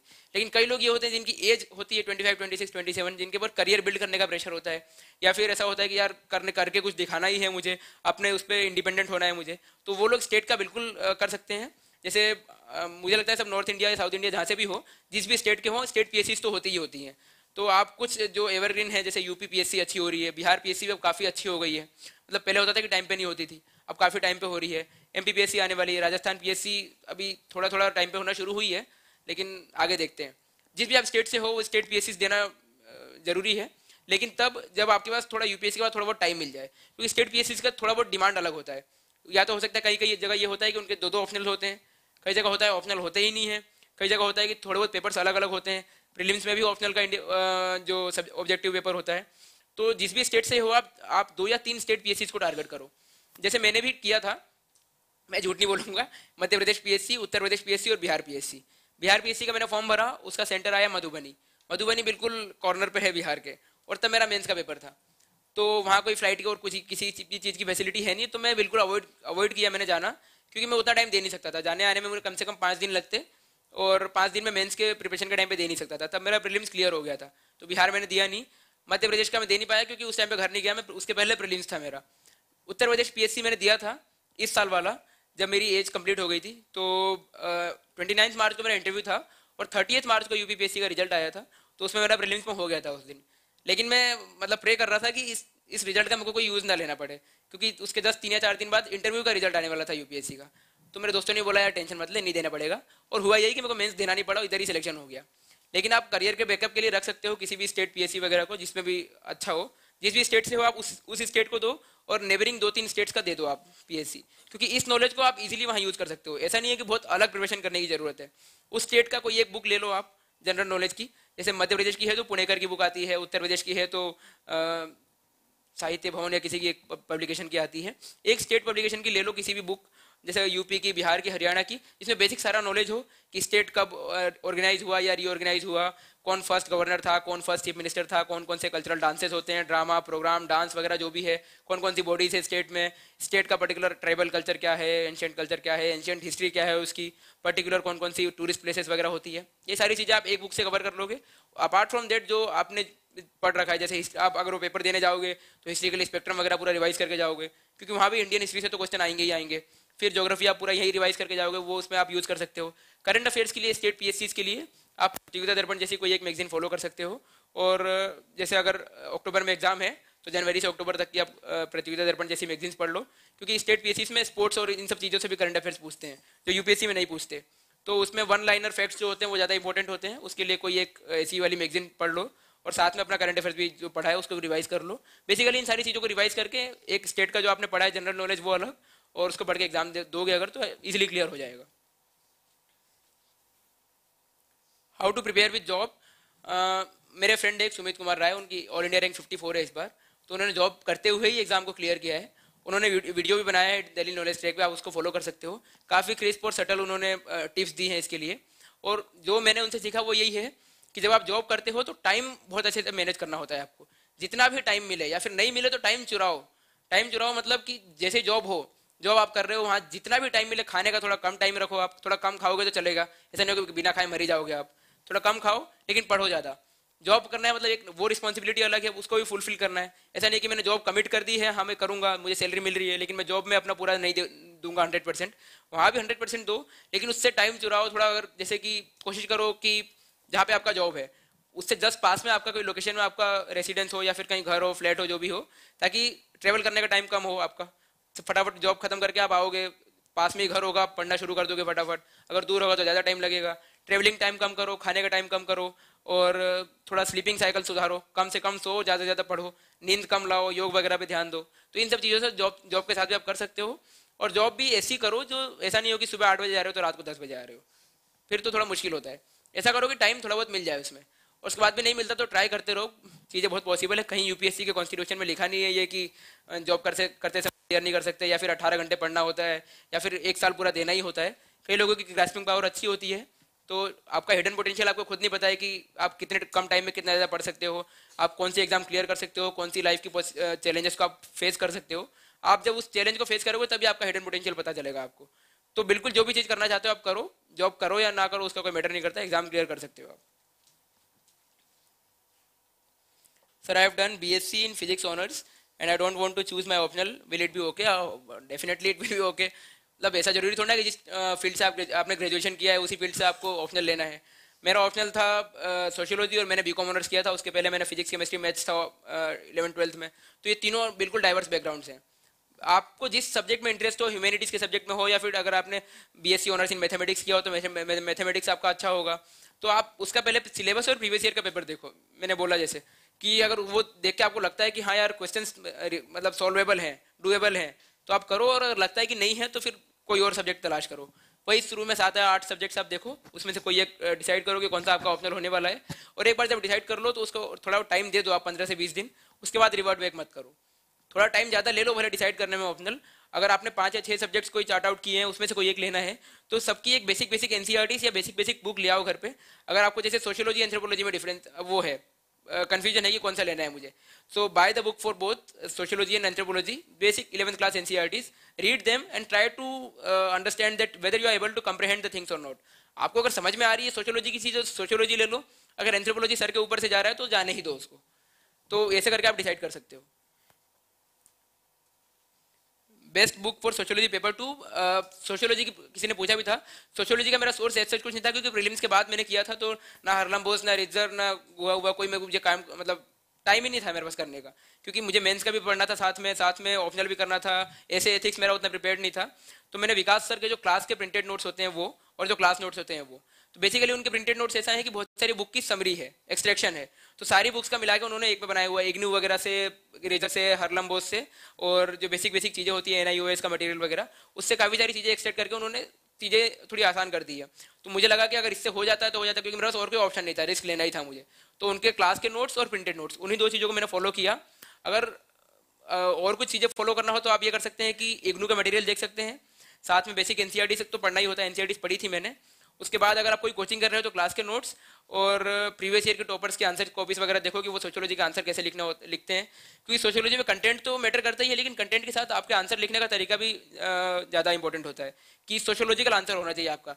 सोशोलॉजिकल आंसर मतलब ये कि जो मैंने क्लास में सीखा कि पाँच, छह डायमेंशन होते हैं, उन डायमेंशन पे लिखोगे तो सोशियोलॉजी का आंसर सोशियोलॉजिकल होगा। जैसे फैमिली है एजुकेशन है पॉलिटी है इकोनॉमी है रिलीजन है पॉवर्टी है, या फिर वुमेन एम्पावरमेंट है, या फिर एजुकेशन है, या अर्बन एरियाज़ हैं रूरल एरियाज़ हैं, और फैमिली के जो भी पेट्रियार्की वगैरह जैसी चीज़ें हैं, ये सब सोशियोलॉजी का पार्ट है सोसाइटी का पार्ट है। इनको अगर आप अपने आंसर्स में इनकलकेट करोगे तो आपका आंसर सोशियोलॉजिकल आंसर होगा। तो ये सारी बेसिक चीज़ें फॉलो करनी होती है। बुक सोर्स एक कोई नहीं है सोशियोलॉजी में कि एक ही चीज़ कोई फॉलो कर सकते हो आप। मैंने जो फॉलो की, वो उसने मेरे लिए वर्क किया, आप देख सकते हो, थोड़ा बहुत अमेंड कर सकते हैं चीज़ें। Is it good to choose Maithili as an optional ये ये मैं नहीं बता सकता। ऑप्शनल सारे अच्छे होते हैं, ऐसा नहीं है कि किसी ऑप्शनल में कम आते हैं, किसी में ज़्यादा मार्क्स आते हैं, आपका परफॉर्मेंस अल्टीमेटली डिपेंड्स कि कितना आपने लिखा है, कैसे लिखा है, आपका नॉलेज कितना है, उसमें कंटेंट कैसा है, इसी पे मैटर करता है। मैथिली में अगर आप अच्छे हो, आपके प्रीवियस ईयर के पेपर्स आप सॉल्व कर सकते हो आंसर लिख सकते हो अच्छे से तो नो डाउट मैथिली अच्छा ऑप्शनल है, और कई लोगों ने क्लियर किया भी है। चाहे गुजराती हो, मराठी हो 2016 की जो टॉपर थी नंदिनी के आर मैम थी तो उन्होंने शायद कन्नड़ लिटरेचर लिया था। तो आप रीजनल लैंग्वेज के भी लिटरेचर को ले सकते हो नो डाउट एग्ज़ाम क्लियर कर सकते हो आप अच्छे मार्क्स से। उनके मार्क्स भी अराउंड थ्री फोर्टी के समथिंग थे। तो लैंग्वेज लिटरेचर भी आप ले सकते हो किसी भी subject how to prepare for G S two तो जी एस का,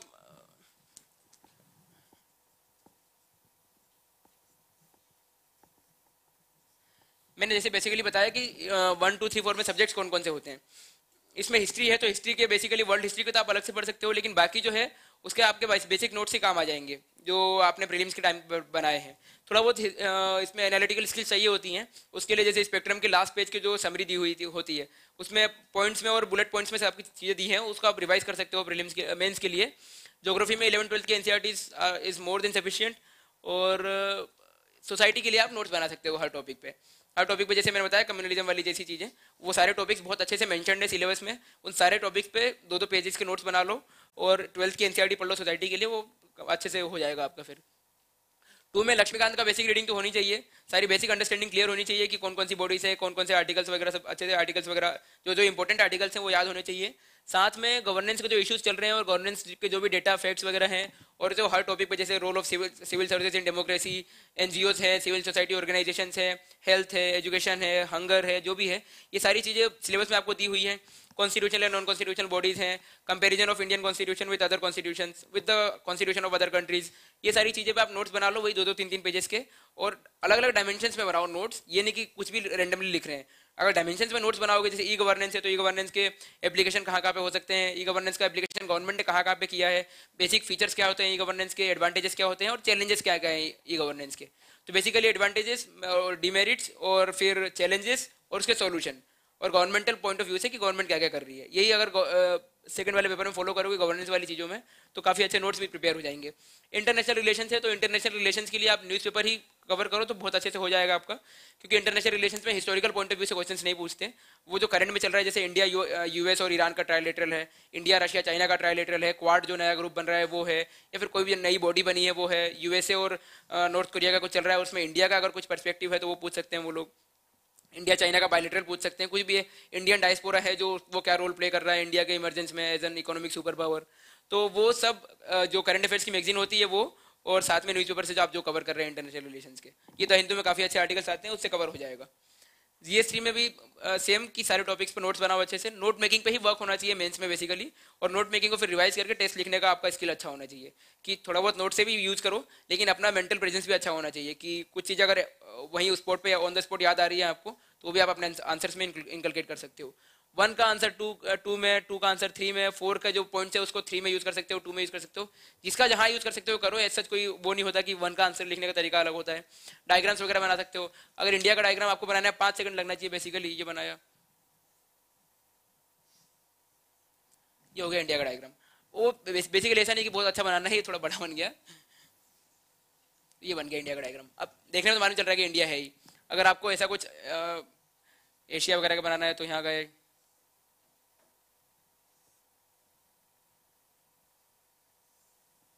ये हो गया इंडिया। और ये ऐसे करके। ये हो गया अपना साउथ एशिया। फटाफट बन गया, कितनी देर लगी? पाँच पाँच या दस सेकंड। ऐसी प्रैक्टिस करो आप फटाफट। और मेरे ख्याल से एलिजिबल है कि ये साउथ एशिया ही है। ये अफ्रीका है, ये सऊदी अरबिया है, ये इंडिया है, ये यहाँ पाकिस्तान है, यहाँ ईरान है, यहाँ थाईलैंड वगैरह जो भी कंट्रीज़ हैं। तो आपको मैप वगैरह बनाने की प्रैक्टिस अच्छी होनी चाहिए। जहाँ डायग्राम यूज़ हो, वहाँ यूज़ करो। इवन लास्ट ईयर जो हिस्ट्री में क्वेश्चन था कि भक्ति मूवमेंट का भक्ति मूवमेंट में भी मैंने डायग्राम का यूज़ किया था। जहाँ यूज़ कर, कर सकते हो करो। पॉइंट्स अगर लिखने हो तो पॉइंट्स को भी डायग्रामेटिक फॉर्म में लिखो। अगर जैसे चार पॉइंट्स लिखने हैं आपको तो स्क्वायर बना सकते हो। पाँच पॉइंट्स लिखने तो पेंटागन छह पॉइंट्स लिखने तो हेक्सागन सर्कल बना के भी चार पॉइंट्स इधर उधर करके डायग्राम वगैरह बना सकते हो आप। जहाँ डायग्राम का यूज़ हो वो कर सकते हो। GS one two three four कहीं भी कोई रोक टोक नहीं है। फोर्थ में एथिक्स में केस स्टडी पर अलग से वर्क करो कि केस स्टडी में आंसर लिखने का आपका स्ट्रक्चर क्या होना चाहिए। आप प्रॉब्लम बताओगे सोल्यूशन बताओगे stakeholders involve in the problem वो बताओगे आप। और फिर basically ethical point of view से थोड़ा बहुत एथिक्स के जो टर्मिनोलॉजी है उसको यूज़ करोगे। और फ़र्स्ट पेपर जो स्टडी होता है उस पर सबके नोट्स बना लो, हर टॉपिक पे डेफिनेशन पर्सनल और प्रोफेशनल लाइफ से एग्ज़ाम्पल अगर दो टॉपिक सिमिलर है तो सिमिलरिटीज दो टॉपिक डिफरेंस है तो डिफरेंट है तो डिफरेंसेस जैसे कि कोड ऑफ़ कंडक्ट और कोड ऑफ़ एथिक्स ये दोनों डिफरेंट है। ऑनेस्टी इंटीग्रिटी में सिमिलरिटीज भी हैं और डिफरेंसेस भी हैं। तो दोनों के सिमिलरिटीज और डिफरेंसेस पे आप नोट्स बनाओगे। और फिर गवर्नमेंट के पॉइंट ऑफ़ व्यू से जो नोट्स बनाने हैं आपको।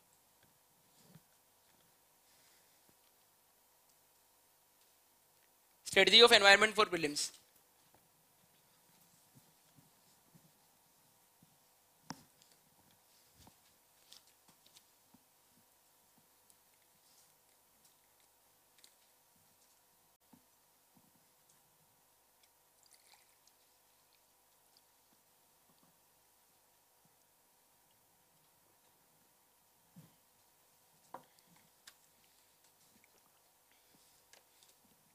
environment के लिए आप शंकर की बुक फॉलो कर सकते हो। शंकर के अलावा भी, शंकर के साथ आप ये कर सकते हो कि एक तो उसका जो जो शुरुआती पेजेस है, उसमें ऐसा दिया हुआ है कि प्रीवियस ईयर के कौन कौन से पेपर्स में कौन कौन से क्वेश्चन आए हुए हैं। तो उसको पहले देखते जाओ साथ साथ में और जब भी पाँच या दस चैप्टर्स पढ़ लो तो उसके बाद वो प्रीवियस ईयर के पेपर्स देखो। उसके बाद जो भी टॉपिक्स हैं और जो भी टर्मिनोलॉजीज हैं उसमें, अगर वो समझ में नहीं आ रही हैं तो उसको गूगल करो या यूट्यूब पे उसके वीडियोस देख लो। तो वीडियो देखने से ये होगा कि कंसेप्चुअल क्लैरिटी बहुत अच्छी हो जाएगी। कई बार ये होता है कि जैसे अर्थक्वेक है तो अर्थक्वेक पे आपको एनिमेटेड जो वीडियोस हैं, उससे काफ़ी अच्छी अंडरस्टैंडिंग डेवलप होगी कि अर्थक्वेक होता क्या है बेसिकली कितने टाइप के होते हैं। या फिर एनवायरनमेंट की भी जो टर्मिनोलॉजी है, जैसे सोलर एनर्जी है वगैरह है विंड एनर्जी है, उसके एनिमेटेड वीडियोज़ काफ़ी अच्छे हैं यूट्यूब पर वो देख सकते हो आप। तो वीडियोज़ भी देखते जाओ साथ साथ में ये भी करते जाओ, और उसके भी अलग से नोट्स बनाते जाओ आप वीडियोज़ वगैरह जो भी देख रहे हो आप। बायोम्स है तो बायोम्स पे काफ़ी अच्छे अच्छे एनिमेटेड और कार्टून वाले वीडियोस बने हुए हैं। उससे बहुत कम टाइम में बहुत ज़्यादा कवर हो जाता है। तो वीडियोस प्लस एनवायरनमेंट की शंकर की बुक और साथ में अगर टाइम मिले तो बायोलॉजी के आखिरी के चार चैप्टर्स ये अगर यही अच्छे से रिवाइज कर लो तो एनवायरनमेंट के लिए बहुत अच्छा है और आखिरी में करंट अफेयर तो आप हर चीज़ के लिए करते ही हो। तो इनके क्वेश्चंस भी कवर हो गए। अब आपके अगर छोटे मोटे कोई डाउट्स हो तो पूछ सकते हो आप।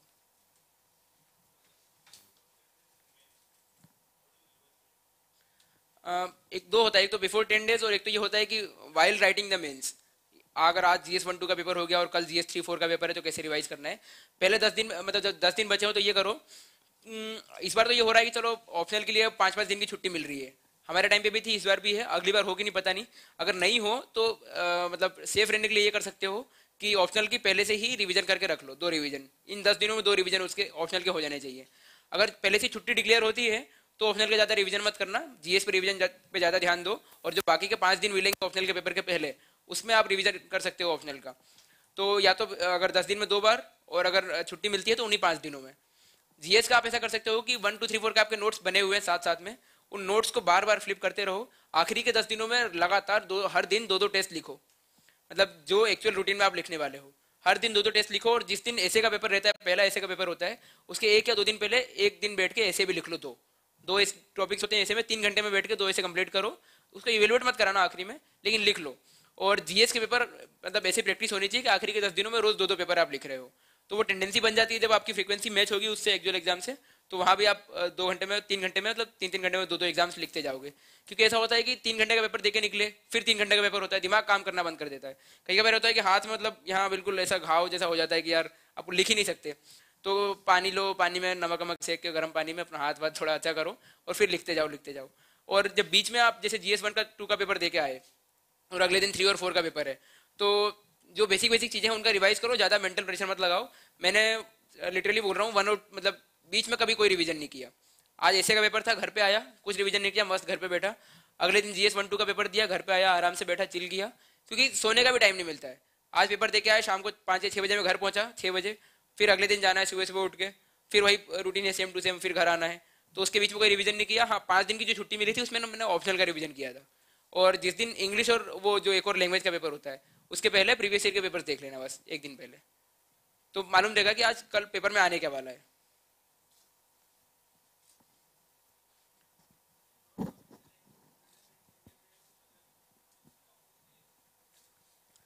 उसके नोट्स तो वही है मॉडर्न हिस्ट्री जो आपने प्रीलिम्स के लिए पढ़ा है। वो सारी चीज़ें आपको अच्छे से याद होनी चाहिए, ताकि एनालाइज करने का कुछ आए। जैसे गांधी जी का आया था इस बार की गांधी जी का रोल क्या था, क्या हो सकता है अभी प्रेजेंट इंडियन सोसाइटी में, जो इंडिया की करंट सोसाइटी की प्रॉब्लम्स हैं, और उनकी कौन कौन सी चीज़ें हैं जिनका हम यूज़ कर सकते हैं। तो वो एक तरह से उन्होंने मॉडर्न मॉडर्न हिस्ट्री का पार्ट है वो, और जो जो उन्होंने टीचिंग्स दी थी, जैसे कि ग्रीड नीड एंड ग्रीड वाला जो उनका थॉट है, या फिर सोसाइटी को एक रखने का, या फिर कम्युनलिज्म को अवॉइड करने का, ये सारी चीज़ें हम यूज़ कर सकते हैं। सेवन सीन्स का उन्होंने जो अप्रोच दिया था, उसको यूज़ कर सकते हैं। तो ये सब चीज़ें जो आपने प्रीलिम्स के लिए पढ़ी है वो आपको याद होनी चाहिए। स्पेक्ट्रम का जो जो लास्ट पेज का जो समरी होती है उसकी, वो आप रिवाइज कर सकते हैं बिफोर द पेपर और पोस्ट इंडिपेंडेंस के लिए नोट्स बना सकते हैं आप। पोस्ट इंडिपेंडेंस के लिए जो ट्वेल्थ क्लास की एनसीईआरटी है, वो बहुत अच्छी है। नहीं तो इंडियन हिस्ट्री में मैंने बोला ना कि उसमें कोई ऐसे टॉपिक्स मेंशन नहीं है। बस दिया हुआ है कि मॉडर्न इंडियन हिस्ट्री या फिर इंडिया स्ट्रगल फॉर इंडिपेंडेंस तो उसमें आप जो आपने प्रीलिम्स के लिए पढ़ा है, उसका अच्छे से यूज़ कर सकते हैं इधर। जहाँ टॉपिक्स मेंशन हो, वहाँ टॉपिक्स का करो। जैसे जीएस टू में और जीएस थ्री में प्रॉपरली टॉपिक्स मेंशन है। जीएस फोर में तो पूरे ही दिए हुए हैं, हर टर्मिनोलॉजी दी हुई है। जीएस वन में ऐसा नहीं है कि हर उसमें दिया हुआ है।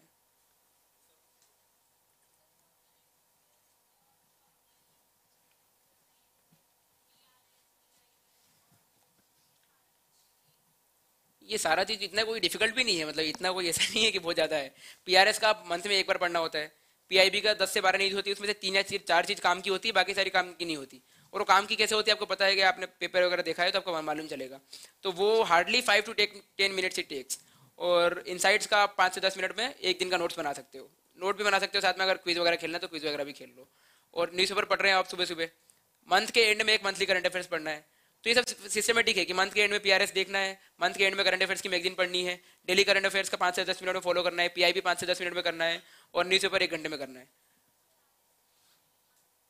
आर का ये फिक्स कर लो शेड्यूल की कब देखना है आपको? अगर सैटरडे वाला शो आपको संडे को देखना संडे को देखो नेट पे तो अवेलेबल है ही। वो मना तो कर नहीं रहे आपको कि सैटरडे का सैटरडे का सैटरडे को मत देखो, बाकी दिन देख लो। तो जब भी आपको टाइम मिले वो देख लो, लेकिन ऐसा कर लो कि ऐसा भी कर सकते हो आप कि टू की स्पीड पे उसको कर लो, उसमें भी कई सारी चीज़ें बेकार होती है, उसको छोड़ दो। और मंथ के एंड में आप एक दिन कभी बैठ सकते हो। चार एपिसोड्स होंगे मंथ के, उनको कभी भी बैठ के फ्री कर लो। एक या दो घंटे में कब पूरे हो जाएँगे वो। ट्वेंटी टू थर्टी मिनट्स के एक एपिसोड होता है। हाँ।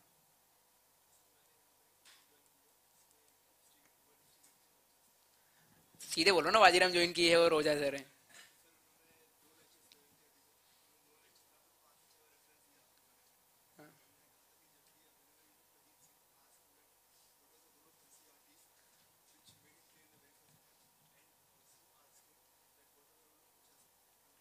हाँ तो मैं बताता हूँ, पहले एनसीआरटीज का रोल एनसीआरटीज का रोल ये है कि एनसीआरटीज किसी भी सब्जेक्ट का अगर आप पढ़ते हो तो बेसिक्स आपका पूरा क्लियर हो जाता है। उसके बाद स्टैंडर्ड बुक्स ना एनसीआरटी से ही डिराइव होती हैं।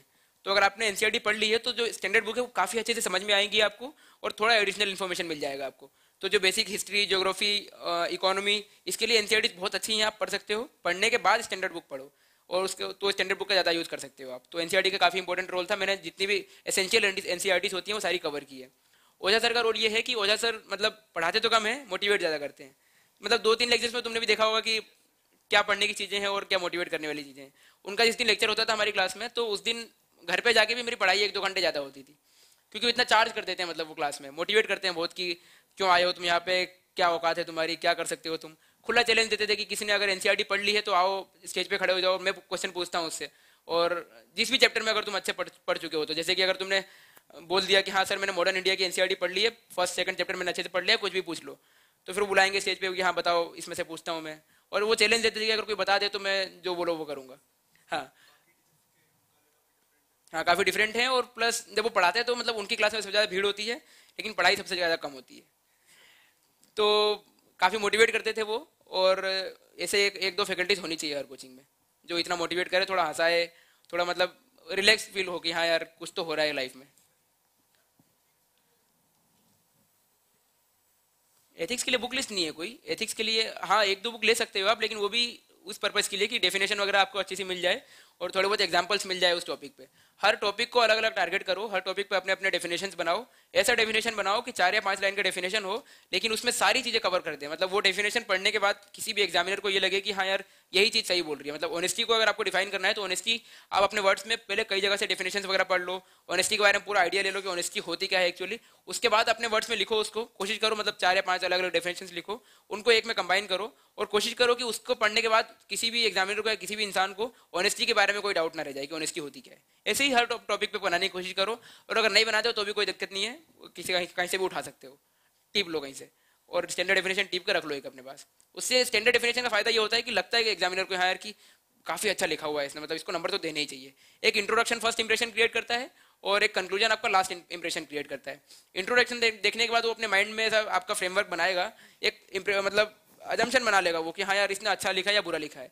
और कंक्लूजन देने के जस्ट बाद, देखने के जस्ट बाद वो आपको मार्क्स देगा। तो कंक्लूजन भी अच्छा होना चाहिए और इंट्रो भी अच्छा होना चाहिए। बीच में तो कुछ भी दे दो, कोई फ़र्क नहीं पड़ता।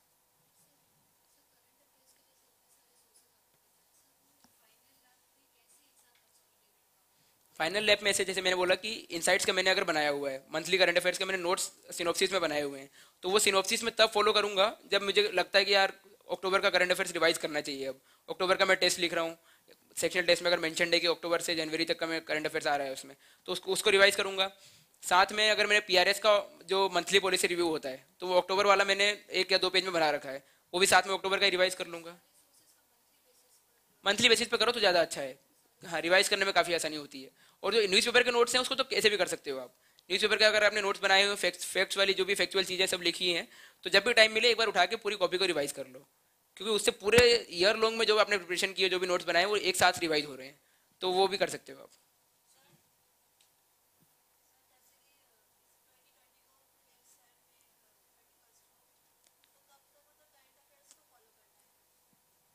Uh, मेरे ख्याल से न्यूज़पेपर आप लास्ट मंथ में स्किप कर सकते हो अगर टाइम नहीं है तो।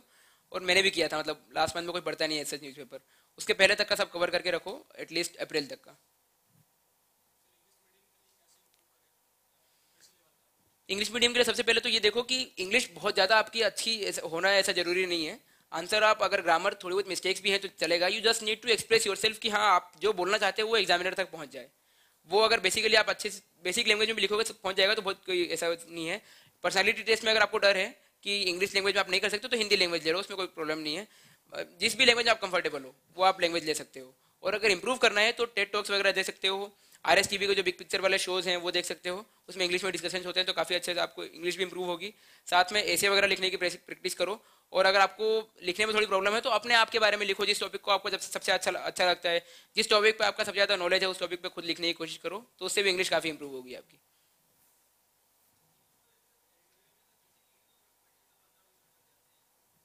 किसी?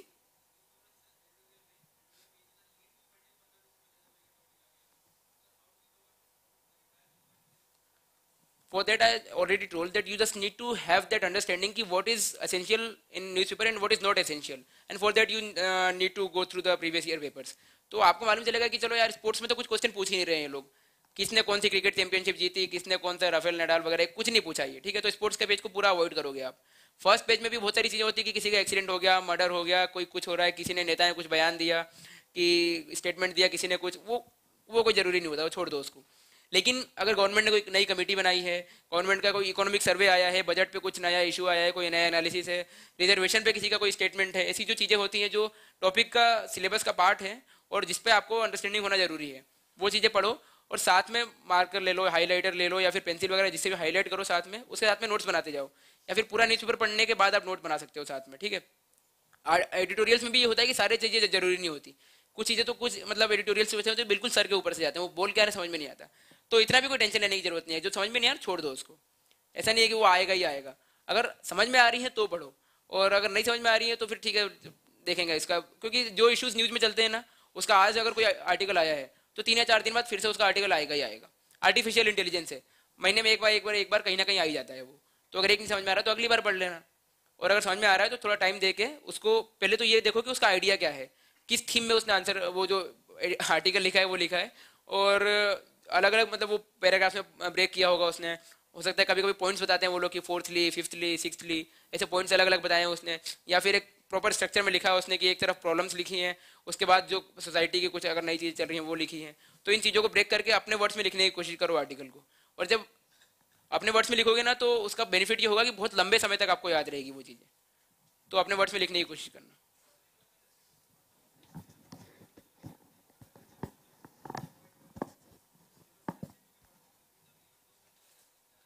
नहीं तो हाँ दो घंटे बहुत ज़्यादा लग रहे हैं मेरे ख्याल से। धीरे धीरे रिड्यूस होगा, अभी शायद, अभी अभी पढ़ना शुरू किया है क्या? एक साल हो गया।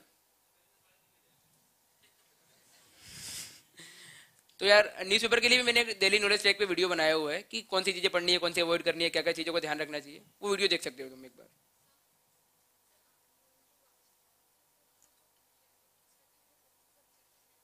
येलो बुक्स किसी भी सब्जेक्ट की मत करो। मैगजीन कर सकते हो। मैगजीन हर कोचिंग की लगभग सेम होती है कंटेंट सेम होता है। करंट अफेयर्स की ना? विजन की मंथली फॉलो कर सकते हो। नेक्स्ट आई का मैंने वो वाला देखा है, जो सब्जेक्ट वाइज कंटेंट है ना वो देखा है कंटेंट अच्छा प्रिपेयर किया हुआ है तो वो भी कर सकते हो आप।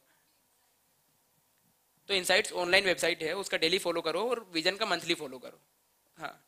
और येलो बुक का मतलब अगर कोई बोले क्लास में किसी ने बोला होगा कि पॉलिटी के लिए येलो बुक पढ़ लो और लक्ष्मीकांत छोड़ दो तो उस चक्कर में पढ़ना मत, लक्ष्मीकांत पढ़ना। अभय सर ने बोला है क्या? येलो बुक पे मतलब मैंने जहाँ तक नोटिस किया है कि वाजीराम की फैकल्टीज काफ़ी अच्छी है, लेकिन मटेरियल मुझे लगता है कि अब मैं किसी और कोचिंग के प्लेटफॉर्म पे खड़ा हूँ तो इसलिए मैं नहीं बोलूँगा, लेकिन आप खुद देख लेना एक बार। येलो बुक पढ़ के देखना, अगर आपको लगता है कि अच्छा है तो पढ़ना otherwise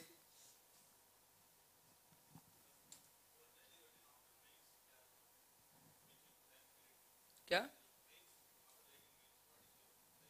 after writing mains actually i was confused that whether i would clear this examination in the first attempt or not so after writing mains i just made the notes on every topic after uh, 20 to or 15 to 20 days of mains हर topic पे दोबारा मैंने notes बनाए and I refined and I refiltered the notes कि हो सकता है कि अगली बार का मेंस लिखने का मौका मिले पर अब नहीं मिला है तो वो भी पढ़े हुए हैं वजह से ही लेकिन उसके बाद यही करता था मैं कि हाँ मेंस के नोट्स फिर से बना लो फिर से आंसर राइटिंग प्रैक्टिस स्टार्ट की मैंने इनसाइट सिक्योर वगैरह फॉलो करना शुरू किया कुछ क्वेश्चन के आंसर लिखना शुरू किया आंसर के स्ट्रक्चर पे डायग्राम वगैरह पे वर्क किया, लेकिन तब तक इंटरव्यू का कॉल आ गया। तो फिर मैंने वो बंद कर दिया उसको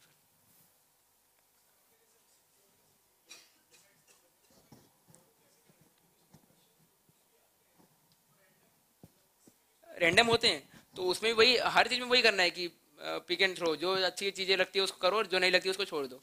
तो उसमें ये होता है कि अगर किसी टॉपिक पे उन्होंने क्वेश्चन पूछा है जैसे हेल्थ एंड एजुकेशन पे पूछा है तो हेल्थ एंड एजुकेशन पे ना वो आपको काफ़ी अच्छा मटेरियल प्रोवाइड करवा देंगे। सिनॉप्सिस जो आता है ना, उसका दो या तीन दिन बाद, उसी क्वेश्चन का। तो सिनॉप्सिस में काफ़ी अच्छा मटेरियल होता है, उस मटेरियल से लेकर आप नोट्स बना सकते हो।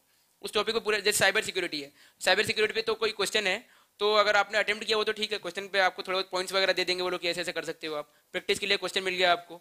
दो या तीन दिन बाद उसका सिनॉप्सिस आता है। तो सिनोप्सिस पे ना काफ़ी अच्छे वो लोग मटेरियल आपको प्रोवाइड करवाएँगे हर डायमेंशन पे।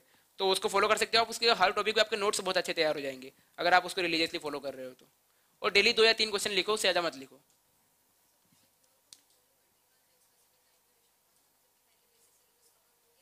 हाँ तो वही मतलब जब थोड़ा बहुत, अगर आपका नहीं हुआ है और करंट अफेयर्स आप अच्छे से पढ़ रहे हो रोज डेली न्यूज़पेपर वगैरह तो खाली करंट वाले क्वेश्चन उसमें अटैम्प्ट करो।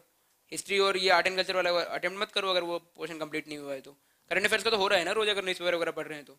तो उससे रिलेटेड जो क्वेश्चन हैं उसको कवर करो उसमें उसको अटेम्प्ट करो और जो नहीं है उसको मत करो। एटलीस्ट सिनोप्सिस तो देख लो क्योंकि सिनोप्सिस देखने से काफ़ी अच्छा मटेरियल मिल जाएगा आपको।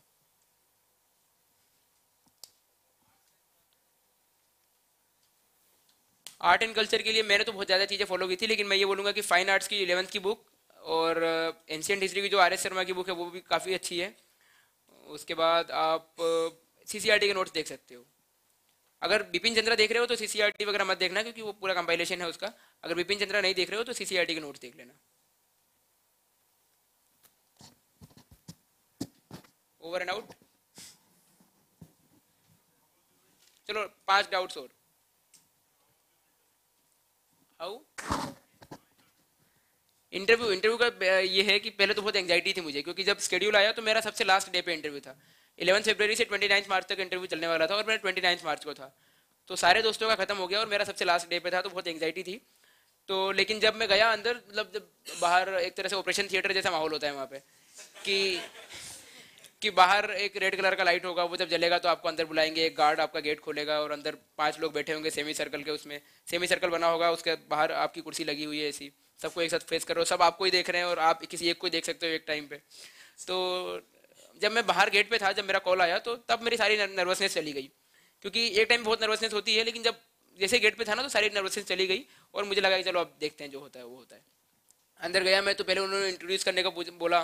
फिर जो अपना अपना आपका डिटेल एप्लीकेशन फॉर्म होता है, उससे कई क्वेश्चन थे, सब एक एक करके क्वेश्चन पूछते हैं। मतलब एक ने मान लो कि पाँच से छः क्वेश्चन बनाए हमसे पूछने के लिए, पहले लिखे हैं कुछ। तो पाँच से छः क्वेश्चन पूछेंगे, अगर मैं कुछ आंसर देता हूँ, उसमें क्रॉस क्वेश्चनिंग करेंगे वो लोग। फिर अगला फिर अगला, ऐसे करके उनका एक सीक्वेंस होता है, उसी में पाँचों एक एक करके क्वेश्चन पूछेंगे। और जब एक ने पूछ लिया है तो दोबारा वो इंटरप्ट नहीं ही करता है। अगर उसको लगेगा कि हाँ कुछ इंटरप्टेबल चीज़ है तो इंटरप्ट करेगा, नहीं तो नहीं करेगा। तो सुजाता मेहता मैम का बोर्ड था मेरा। पहले इंट्रोड्यूस करने का बोला, फिर मेरे डेफ से क्वेश्चन पूछे कि मैं जैसे इंदौर से हूँ तो उन्होंने पूछा कि why is Ujjain famous for मैंने फिर चार चार पाँच रीजन्स बताए। इंदौर के पास महू है, जो मिलिट्री हेडक्वार्टर्स ऑफ़ वॉर है तो महू कैंट के बारे में पूछा उन्होंने। फिर वो बात करते करते जैसे करंट अफेयर्स के काफ़ी सारे क्वेश्चन पूछे कि जैसे यमन के जो हेड ऑफ़ स्टेट हैं, उनको इंडिया ने अभी पद्म विभूषण या पद्म विभूषण दिया था। तो उसके बारे में पूछा कि किस कंट्री के हेड को अभी इंडिया की गवर्नमेंट ने कोई प्राइज़ दिया है। तो मुझे कोइंसिडेंटली पता था तो मैंने बता दिया वो। फिर पोर्ट्स वगैरह का पूछा, फिर नेवल हेडक्वार्टर्स वगैरह का पूछा आर्मी के जो अलग अलग बॉडीज़ होती हैं, उसके बारे में पूछा मिनिस्ट्रीज़ के बारे में पूछा। और कॉमर्स मेरा ग्रेजुएशन का सब्जेक्ट वो था स्ट्रीम था तो कॉमर्स के बारे में काफ़ी सारे क्वेश्चन पूछे मैनेजमेंट के बारे में फाइनेंशियल अकाउंटिंग के बारे में फाइनेंशियल मैनेजमेंट के बारे में। फिर मैंने क्विज कॉम्पिटिशन में पार्टिसिपेट किया था Sweden India Nobel memorial quiz जो स्वीडन की एम्बेसी करवाती है नेशनल लेवल पे। तो वो मैं, मैंने जीता था तो उसके बारे में क्वेश्चन पूछा उन लोगों ने कि ये क्या था और क्या पैटर्न था वगैरह। उसके अलावा मैंने इंदौर क्विज क्लब बनाया था तो इंदौर क्विज क्लब के बारे में क्वेश्चन पूछा। एक मैंने डिजिटल लाकिया कैंपेन में पार्ट लिया था ड्यूरिंग माई ग्रेजुएशन डेज़ तो वो एक ऐसा था कि to promote financial transaction among the lower section of the society तो उसके बारे में पूछा और कुछ कुछ पर्सनल इंटरेस्ट की चीज़ें की पूछी। पोइट्री मेरे जो वो था रेसिटेशन पोइट्री रेसिटेशन मेरा एक हॉबी है एक तरह से। उसके बारे में क्वेश्चन नहीं पूछा। तो मतलब जिस मैंने खुद प्रिपेयर किया था, उस पर बिल्कुल नहीं पूछा। मैंने कम से कम सौ, डेढ़ सौ कविताएँ याद की थी बिल्कुल कि हाँ यार, कुछ भी पूछेंगे तो। हाँ मैं बिल्कुल तैयार था कि यार बोलो, कुछ बोलो तो फिर मैं शुरू करता हूँ अपना। लेकिन पूछा ही नहीं उन लोगों ने। हाँ मैं सुनाऊँगा डोंट वेरी जाने से पहले सुना दूँगा। हाँ हाँ हो जाएगी डोंट वेरी तो वो पूछा और उसके बाद आखिर में वो लोग, उन लोगों ने ये पूछा, जो जनरली सारे इंटरव्यूज़ में पूछते हैं कि अगर कोई क्वेश्चन हमने छोड़ दिया है if you would like us to ask any question which you not asked out of your DAF और out of anything then you can ask me तो मैंने बोला कि हाँ सर मैंने रामायण महाभारत का मेंशन किया था कि I am interested in reading Ramayana and Mahabharata and drawing out the lesson from the epics तो बोले, नहीं, हम नहीं पूछेंगे. तो हम लोग ठीक है थैंक यू तो जिन चीज़ों को मैंने बहुत ज़्यादा प्रिपेयर किया था, उसमें से नहीं पूछा और जो प्रिपेयर किया था, उसमें से तो पता ही नहीं क्या पूछा। तो मैं दो, एक, दो अच्छी कविता सुनाता हूँ। आज के लिए सेलेक्ट की थी मैंने एक।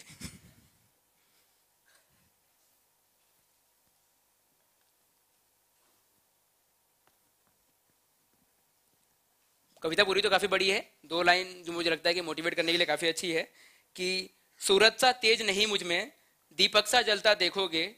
सूरज सा तेज नहीं मुझमें, दीपक सा जलता देखोगे। अपनी हद रोशन करने से तुम मुझको कब तक रोकोगे? मैं सागर से भी गहरा हूँ। मैं सागर से भी गहरा हूँ, तुम कितने कंकड़ फेंकोगे? मैं सागर से भी गहरा हूँ, तुम कितने कंकड़ फेंकोगे? चुन चुनकर आगे बढ़ूँगा मैं, तुम मुझको कब तक रोकोगे? तो मुझे लगता है मोटिवेट किया होगा। और एक जो ये मेरी फेवरेट पोएम है, दुष्यंत कुमार की, आप में से काफ़ी लोगों ने सुनी होगी। तो ये बेसिकली मेरा जो मोटिव है सिविल सर्विसेज़ में आने का, या फिर सोसाइटी में कुछ करने का, उसको काफ़ी अच्छे से ये डिफाइन करती है कि, हो गई है पीर पर्वत सी पिघलनी चाहिए। हो गई है पीर पर्वत सी पिघलनी चाहिए, इस हिमालय से कोई गंगा निकलनी चाहिए। हो गई है पीर पर्वत सी पिघलनी चाहिए, इस हिमालय से कोई गंगा निकलनी चाहिए आज ये दीवार भी पर्दों की तरह हिलने लगी। शर्त लेकिन थी कि ये बुनियाद हिलनी चाहिए। हर सड़क, हर गली, हर नगर, हर गाँव में। हर सड़क, हर नगर, हर गली, हर गाँव में हाथ लहराते हुए हर लाश चलनी चाहिए। सिर्फ़ हंगामा खड़ा करना मेरा मकसद नहीं। मेरी कोशिश है कि ये सूरत बदलनी चाहिए। ये सूरत बदलनी चाहिए। और लास्ट लाइन ये है कि मेरे सीने में नहीं तो तेरे सीने में सही। मेरे सीने में नहीं तो तेरे सीने में सही। हो कहीं भी आग, ये आग जलनी चाहिए, ये आग जलनी चाहिए। ऑल द बेस्ट सब क्लियर करो एग्ज़ाम और दोबारा मिलेंगे फिर।